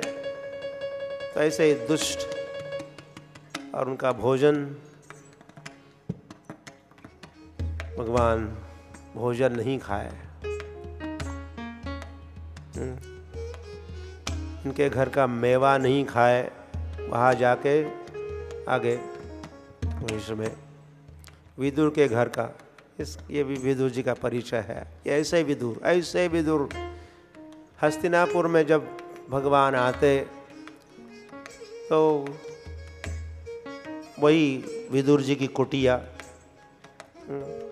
उनका सिंपल लिविंग हाई थिंकिंग वाले थे, विदुर जी तो विदुर कुटीर में प्रभु जाया करते थे एक दिन जब आए थे विज़िट के लिए तो प्रभु आए तो कुछ भोजन खिलाना चाहिए तो दोनों भी बड़े संभ्रमित हुए, क्या कैसे बिठाया जाए, क्या खिलाया जाए तो कुछ नहीं जब मिला तो कहते, कोई तो कहते साग खिलाया तो कोई कहते केला खिलाया। कोई वीडियो होता उस समय का तो देख लेते हम लोग। ठीक है ऐसा इनमें कई होगा वर्णन कौन सा पदार्थ? लेकिन सुनने में कभी तो केले के छिलके खिलाए और जो केला खाते उसको तो बाजू में रख दिया, उसको बढ़िया से काट के थाली पर प्रभु जी के समक्ष प्रस्तुत किया। और प्रभु जी जब खा रहे थे तो कहे आ भोजन, ऐसा भोजन तो कभी नहीं खाया था। खा तो रहे थे, छिलके खा रहे थे। भाव खा रहे थे, भाव से प्रभावित थे प्रभु, बस। उनको क्या खाने खाने से मतलब? तो वह दुर्योधन के उस भोजन को कि वो देखे तक नहीं, तिरछी नज़र से, लेकिन यहाँ विदुर जी के घर में साग खाए या केले का छिलका का स्वादन लिए। ऐसे विदुर जी। आगे और उनकी चर्चा होगी विदुर जी की। तो वह तो भगवान लौटे। कुछ उनका जो उद्देश्य था वो तो सफल नहीं हुआ। उल्टे अब भगवान कहे कि अब तो युद्ध ही होगा। आप कौरवों की मुलाकात होगी, वहाँ धर्म क्षेत्रे कुरुक्षेत्रे समवेता युत्सव मामक पांडवाश्चैव किम कुर्वत संजय? उस युद्ध को टालने के उद्देश्य से मैं एक शांति दूत बन के आया तो था, लेकिन तुम नहीं मानते हो। बातों से नहीं मानते हो तो लाश के लिए तैयार हो जाओ। ऐसे भूत हो तुम, बातों से नहीं मानने वाले। तो लाथ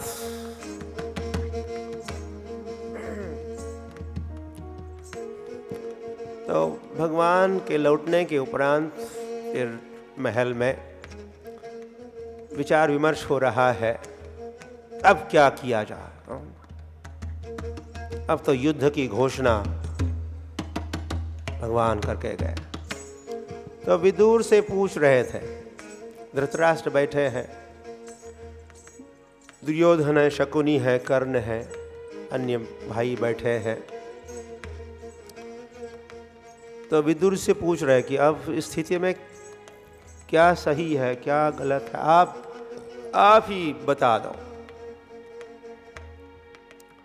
तो विदुर जी ने कहा, जो भगवान कहने आए थे भगवान के प्रतिनिधि, भक्त, विदुर, जो नीतिज्ञ में थे, नीति में निपुण थे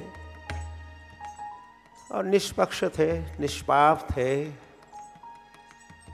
उन्होंने तो सोचा और कहा भी, हित तो ये राज पांडवों का है। पांडवों को लौटाना चाहिए। उनका हक है। इस राज पर। वे उत्तराधिकारी है।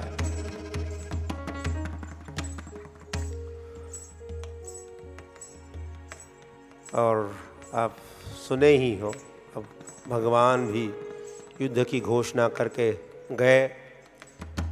तो शायद आप सोचते होंगे, दुर्योधन ओ हम कौरव तो सौ है, सौ के संग, वो तो पाँच ही पांडव है, पाँच ही है, पाँच कहा और हम सौ हंड्रेड लेकिन विदुर जी कहते हैं भगवान भी तो उनके पक्ष में है। और भगवान के पक्ष में तो सारे देवता भी तो उनके पक्ष में है। इस पर विचार करो।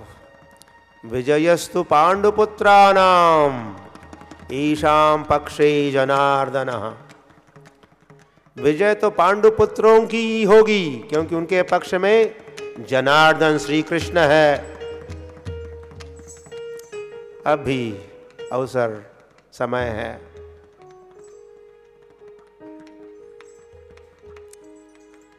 तो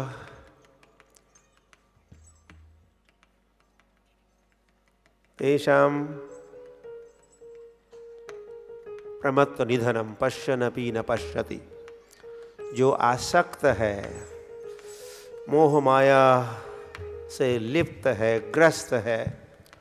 उनको सत्य बातें या हित की कही हुई बातें भी पश्यनपि न पश्यति। दिखाने पर भी उनको दिखाई नहीं देता। मराठी में कहते कळतंय पण वळत नाही। कळतंय पण वळत नाही। पश्यनपि न पश्यति। तो ये इस प्रकार की मंत्रणा, विदुर जी की मंत्रणा जब धृतराष्ट्र एंड कंपनी या दुर्योधन एंड कंपनी ने जब सुनी है तो वे इतने आग बबूले हुए, इतने क्रोधित हुए, और उन्होंने ऐसे कुछ वचन कहे, ये तुम दासी के पुत्र ऐसे चाचा लगते थे। आदर सम्मान करना चाहिए था, लेकिन ये सदाचारी तो भतीजे थे नहीं। हम तुमको पालते हैं और तुम ऐसा साहस दिखाते हो, ऐसी मंत्रणा करते हो, पक्षपात करते हो। उसे दुर्योधन ने कहा, तुम्हारी जान तो नहीं लेंगे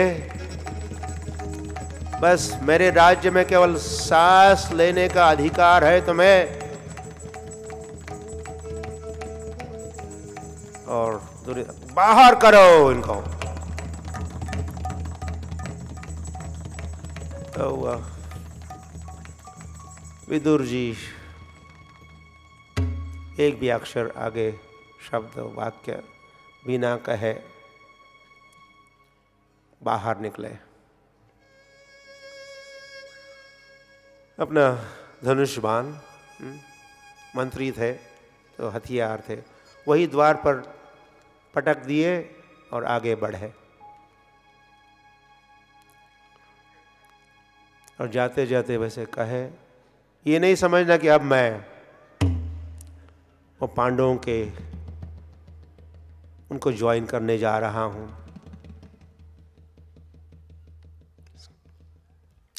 तो विदुर जो घर से प्रस्थान किए, उन्होंने वानप्रस्थ वानप्रस्थ बने। वन का प्रस्थान किया, उन्होंने तीर्थ यात्रा प्रारंभ की। सारे भारतवर्ष के तीर्थों में वे घूमे। भारतवर्ष, या गंगा बहती है जमुना बहती है जहाँ चार धाम है जहाँ हम्म, ऐसे सात पवित्र नदियाँ भी है कई अनेक पग पग पर तीर्थ है। रामलीला की तीर्थ स्थलिया कृष्ण लीला की कृष्ण स्थलिया अब, अब चैतन्य महाप्रभु के लीला स्थलिया भी बन चुकी है। सारे विष्णु मंदिरों में। मंदिर के ऊपर चक्र देखा।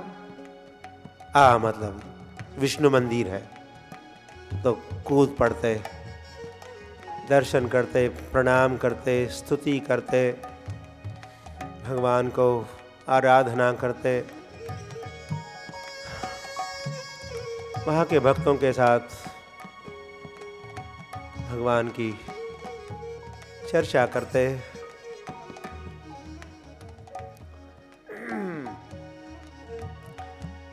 वे कई तीर्थ स्थानों में गए।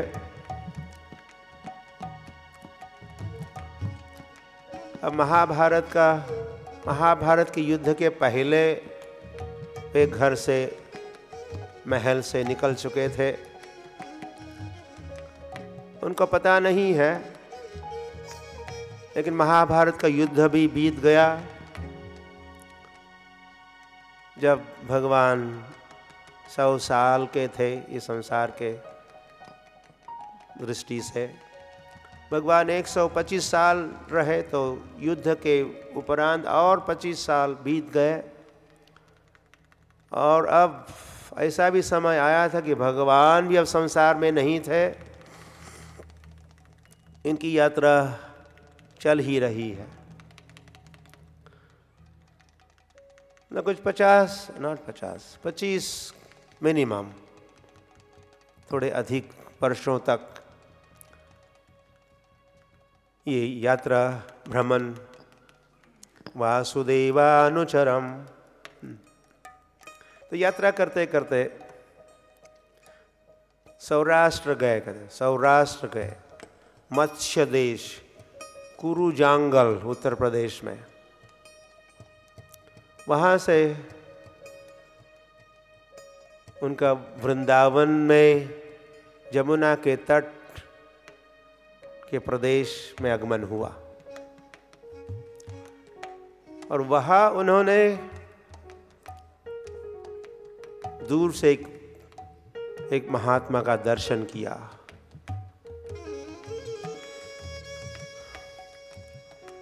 वे थे उद्धव। बृहस्पति के शिष्य। प्रशांत बड़ी शांत मुद्रा में बैठे थे। वासुदेवानुचरम और वासुदेव का, जिन्होंने अनुगमन किया।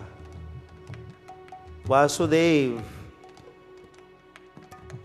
के भी जो मंत्री रहे, उद्धव, मित्र रहे, उनके साथ उन्होंने अधिकतर समय बिताया। जिस भगवान ने जब स्वयं नहीं जा सके उन ब्रजवासियों को मिलने के लिए तो भगवान ने उद्धव को भेजा। ये मेरा संदेश लेके तुम ही जाओ उद्धव, और समझाओ, बुझाओ ब्रजवासियों को, और अंत में गोपियों को भी मिलो, और कहो कि मैं लौटने ही वाला हूँ। तो ऐसा विश्वास जिस भक्त में था। ऐसे उद्धव को, ऐसे उद्धव वहाँ दिखे। विदुर जी को तो तेज़ी से आगे बढ़े हैं और उनके पास पहुँचते ही उन्होंने आलिंगन दिया, गाढ़ आलिंगन दिया एक दूसरों को।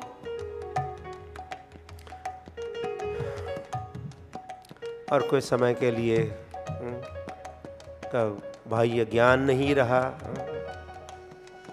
अंतकरण में ही हम्म, उस भाव की अवस्था में आलिंगन मुद्रा में वे रहे। और अब जब वे बैठे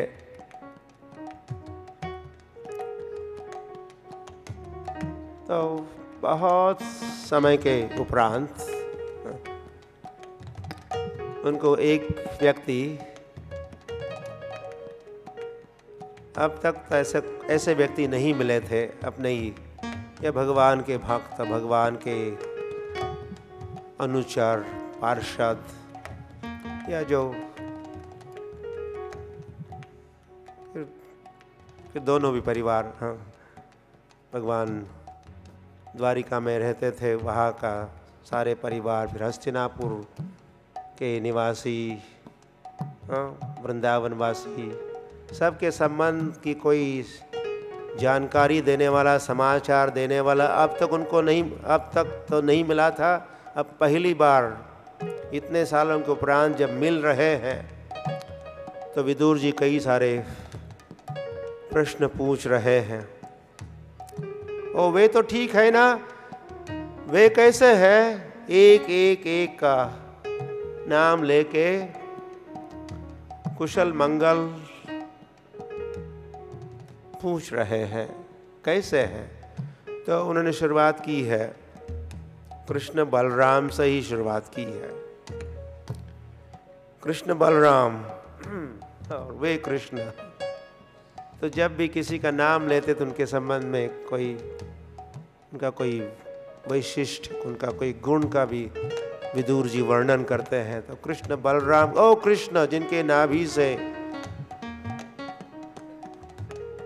ब्रह्मा उत्पन्न हुए, वे श्री कृष्ण। जो इस पृथ्वी पर पधारे, विनाशाय च दुष्कृताम। और इस पृथ्वी भार नाशो मुकुंद। पृथ्वी भार को घटाने के लिए जो प्रभु पधारे थे, वे कैसे हैं? ठीक तो है ना? और वे पूज्य वसुदेव, सारे कुरुवंशियों के परम मित्र वसुदेव, वे कैसे हैं? और प्रद्युम्न कैसा है? वो रुक्मिणी का पुत्र, पहले जन्म में वो कामदेव था रुक्मिणी का पुत्र प्रद्युम्न के रूप में प्रकट हुआ जो, वह कैसा है? और यादवों के अधिपति उग्रसेन कैसे है?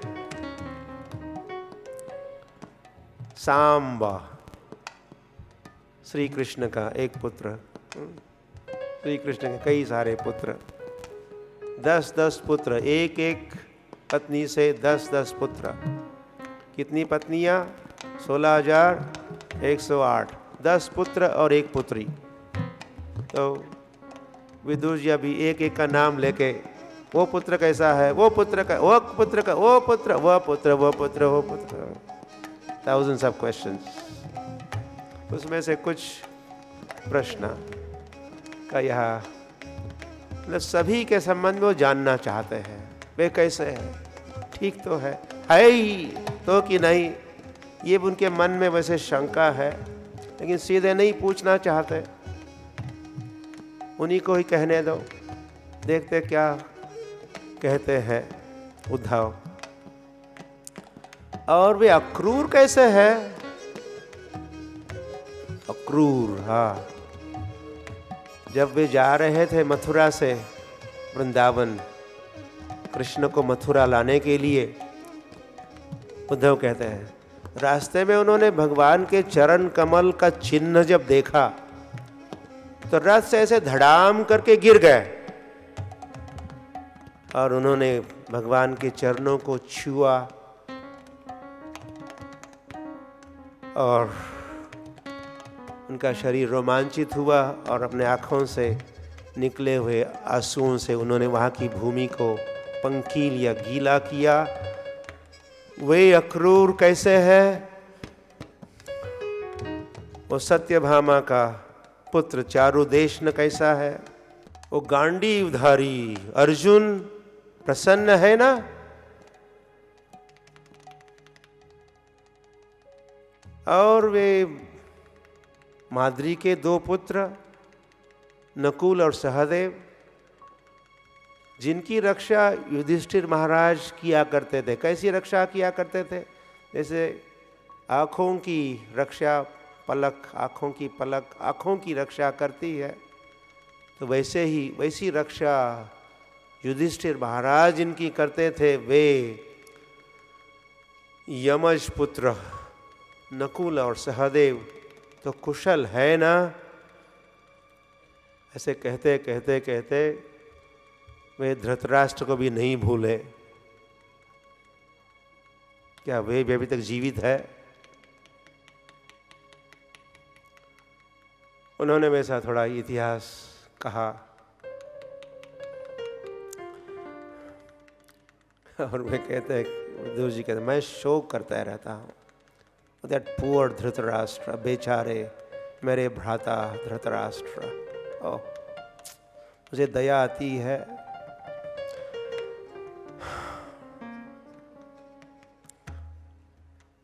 जो पांडु से द्रोह और फिर पांडु नंदन उनके पुत्रों से द्रोह, धृतराष्ट्र और उनके पुत्र भी करते रहे।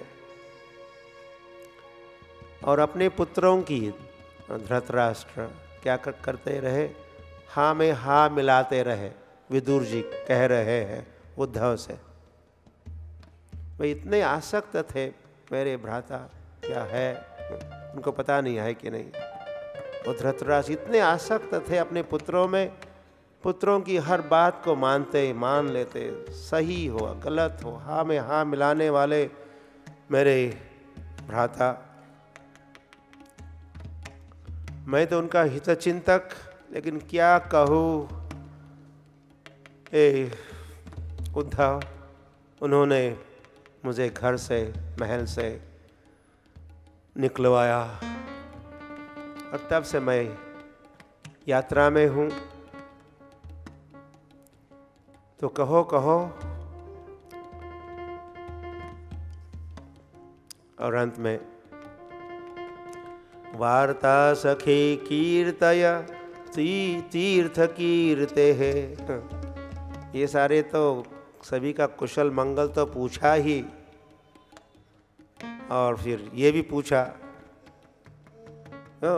भगवान तीर्थ कीर्ति, भगवान का श्री हरि की पवित्र कीर्ति, वो भी सुनाओ।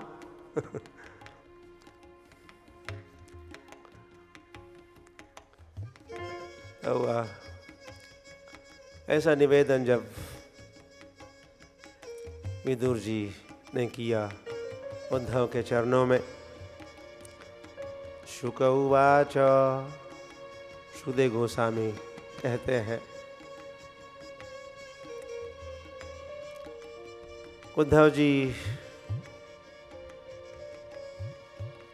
की मनस्थिति में हम्म, तो भगवान ही भगवान का विचार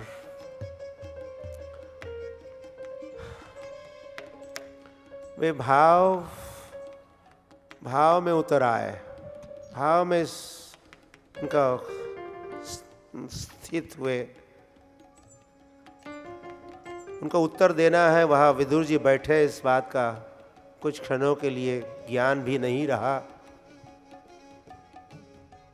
फिर थोड़ी देर में उन्होंने स्वयं को संभाला और कुछ कहने का वे प्रयास करने लगे। उतने में उद्धव सुखदेव गोस्वामी उद्धव के संबंध में कहे यहाँ राजा परीक्षित को भी कह रहे हैं। ये जो उद्धव है ना, ये बचपन से ही प्रभु के अनन्य भक्त। ये उद्धव जब पाँच साल का ही था तो कृष्ण की मूर्ति जैसे बालक गुड़िया का खेल खेलते हैं तो कृष्ण की मूर्ति के साथ ये खेला करता था। मूर्ति को खिलाता, मूर्ति की आराधना, अर्चना, पुष्प चढ़ाना, अभिषेक करना, इसी में वो तल्लीन रहता हो। उनकी माँ पुकारती है आओ आओ, नाश्ता करो तो। प्रभु की सेवा में वो तल्लीन रहता, उसको नाश्ते की परवाह नहीं। ऐसा, ये तो जब बालक था तो आगे जब बड़ा हुआ तो भाव और भी बड़े या गाढ़े बन गए थे उद्धव के।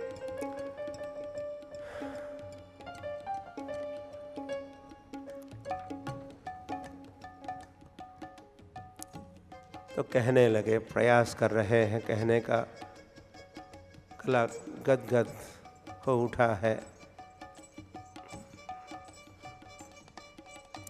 कहते कि ये ये कृष्ण तो उन्होंने पहला वो जिज्ञासा भी की थी, इनका कुशल मंगल कहो, ये कैसे है, वे कैसे है, वो तो विषय वही रह गया। अभी भगवान का थोड़ा कीर्ति गान भी सुनाओ। उसको अंत में कहा था, विदुर जी ने तो उसी टॉपिक को उन्होंने खोला और कहने लगे, ये जो कृष्ण है है तो अजन्मा, लेकिन जन्म की, जन्म लेने की लीला खेलते हैं। और वैसे ये अभय है या औरों को अभय दान देते हैं लेकिन जैसे ही जन्म लिया तो कंस के भय से, मथुरा से रातों रात इन्होंने प्रस्थान किया और गोकुल चले गए।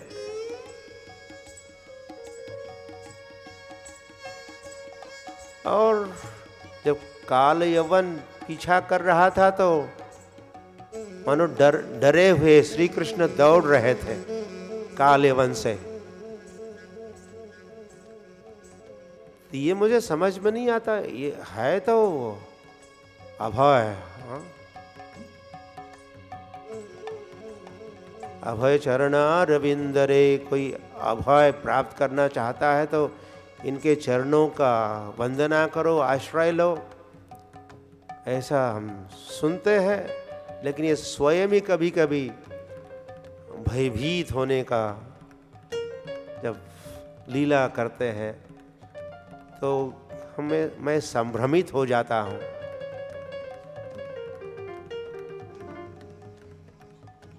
रन छोड़ रन छोड़।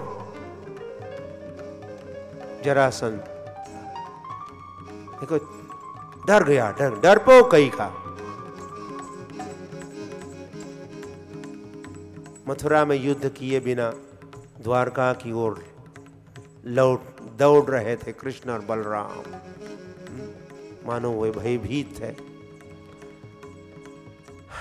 लेकिन ऐसी बात तो नहीं है तो कहते हैं।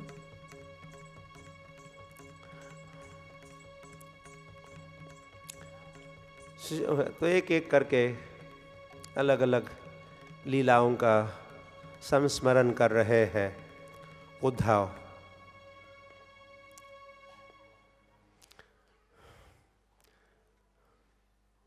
और वो कहते कि ये इन इन लीलाओं का स्मरण करके मेरा चित्त व्यथित होता है। जब कंस का वध हुआ और इन्होंने ही तो उग्रसेन को राजा बनाया, मथुरा नरेश। लेकिन और जनता की तरह ये स्वयं भी उग्रसेन के समक्ष आके पूछते, महाराज, मैं आपकी क्या सेवा कर सकता हूँ? ओह ये समझ में नहीं आता। अब ऐसे श्री कृष्ण मुझे समझ में नहीं आते।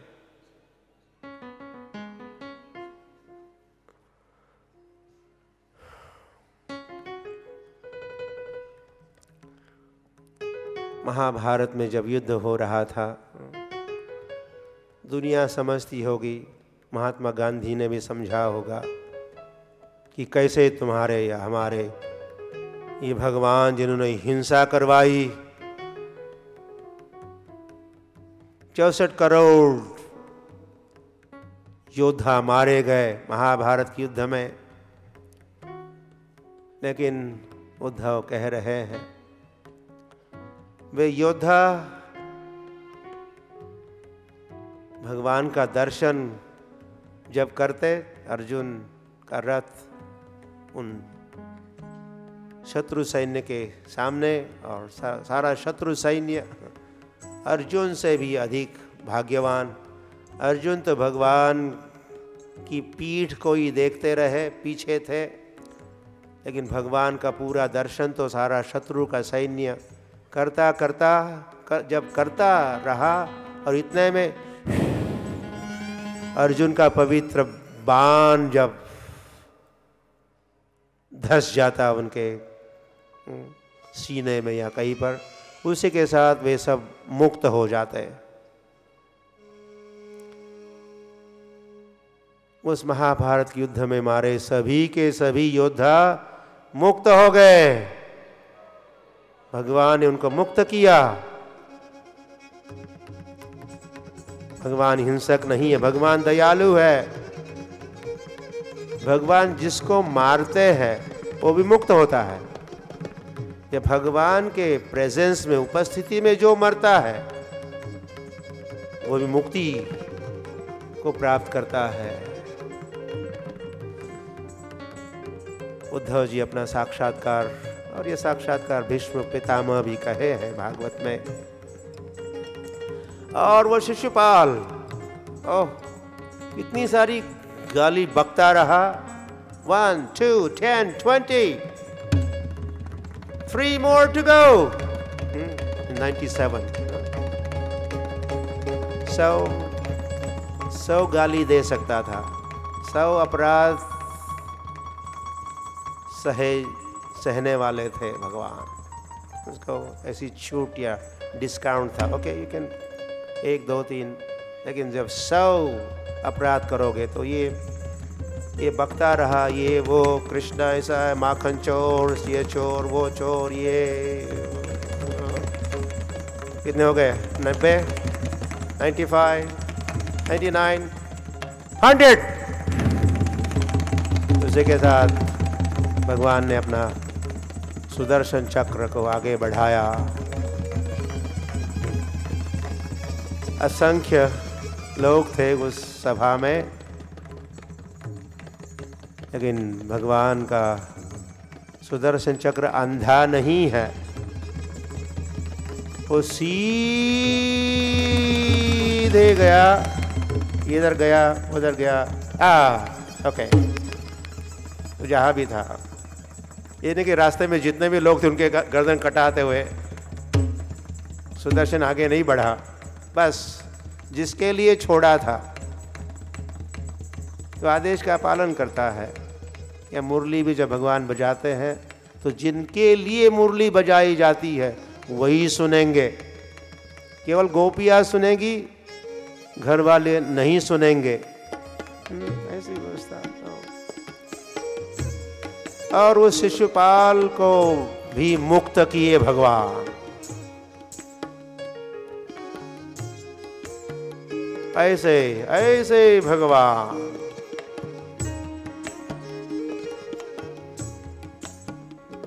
और फिर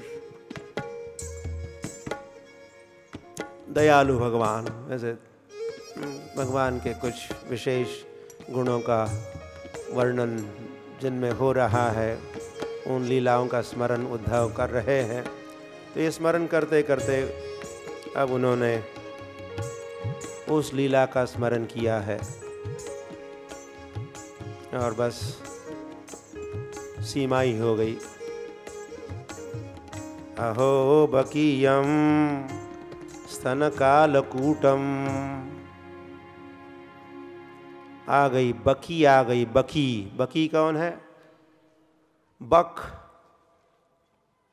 बकासुर की बहन बकी। बक, बकी। यमराज की बहन यमी, यम, यमी, बक बकी ऐसे नाम आ जाते हैं। तो बकासुर का इस वध बाद में होगा। ये दो भाई थे और एक बहन थी। बकासुर, अघासुर, ये दो भाई और बहन, पूतना, क्या परिवार है? हुँ?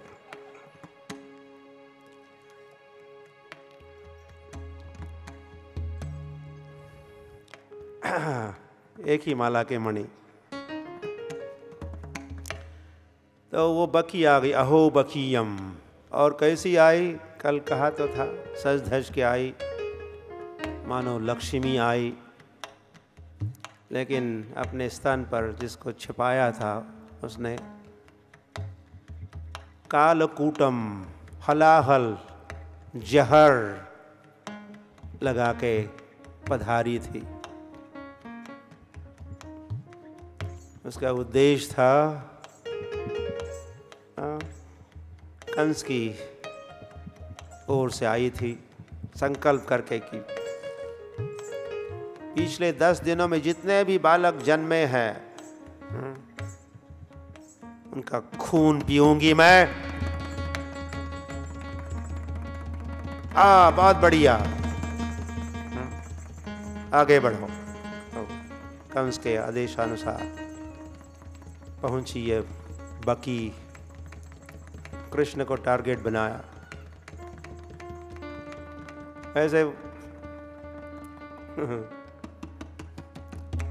भगवान और बालकों की रक्षा करना चाहते थे, इसीलिए उसके दिमाग में ऐसी, ऐसा विचार डाला कि तुम कृष्ण से शुरुआत क्यों नहीं करते?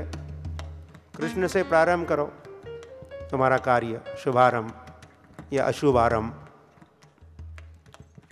तो और बच्चों की रक्षा के लिए भगवान ने उसको अपनी ओर ही ले आए।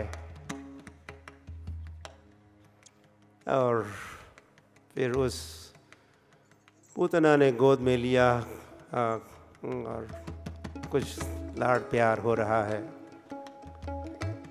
और धीरे धीरे उस कन्हैया को, जिन्होंने अपनी आँखें बंद की है। इसका मुखड़ा नहीं देखना चाहते। और भी कारण बताए आचार्यों ने, क्यों आँखें बंद की? कृष्ण ने आँखें बंद करने के पीछे क्या क्या कारण है? इस पर भगवान विचार कर रहे हैं। उसकी एक लिस्ट आती है क्या क्या कारण भगवान ने सोचे। या किसके कारण भगवान ने आँखें बंद की? तो वह अंत में जब दूध नहीं। ये जहर पिलाने का जब प्रयास हुआ तो उसी के साथ वैसे बाह्य दृष्टि से भगवान ने उस पूतना का वध किया।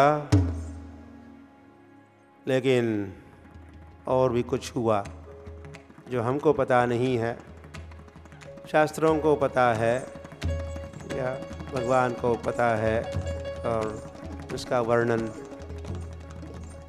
जो तत्, तत्ववेत्ता है, धर्मज्ञ है, धर्म के मर्मज्ञ जो है, या भागवत के मर्मज्ञ जो है, वे जानते हैं, और और फिर हमारे उद्धव भी जानते हैं।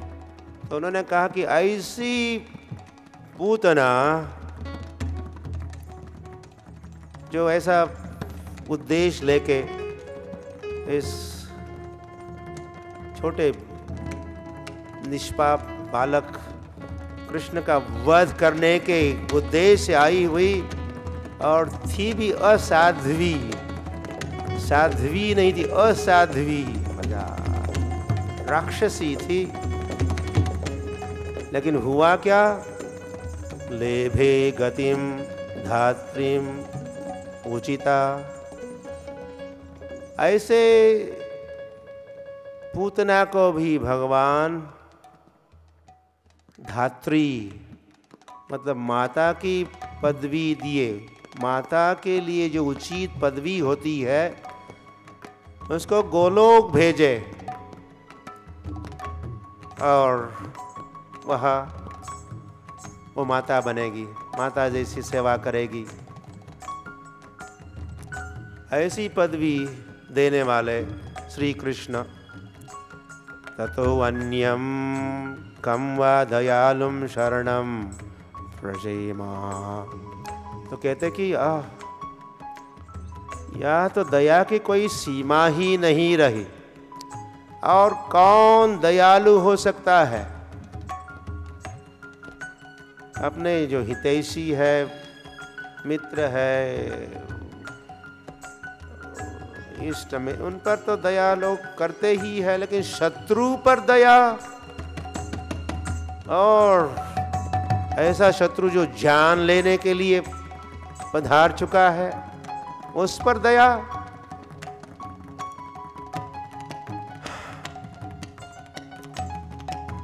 तो ऐसे कृष्ण को छोड़ के मैं और किसकी शरण में जा सकता हूँ?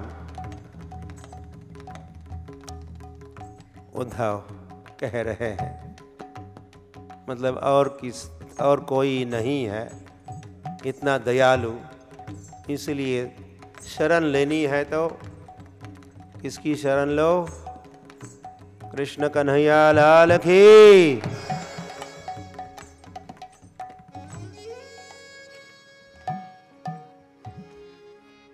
गौर प्रेमानंदे। तो ये तो उद्धव जी का और भी आगे प्रवचन है। कुछ लीलाओं का उन्होंने स्मरण करके उसी को प्रस्तुत किया, कहा विदुर जी से और भी लीलाओं का वे आगे स्मरण करेंगे और कहेंगे उनको, उनका श्रवण हम कल करेंगे और फिर उद्धव नहीं विदुर जी मैत्रेय से जाके हरिद्वार में मिलेंगे और उनके बीच का संवाद भी कल के सत्र का विषय रहेगा। हिताय गौर प्रेमानंदे।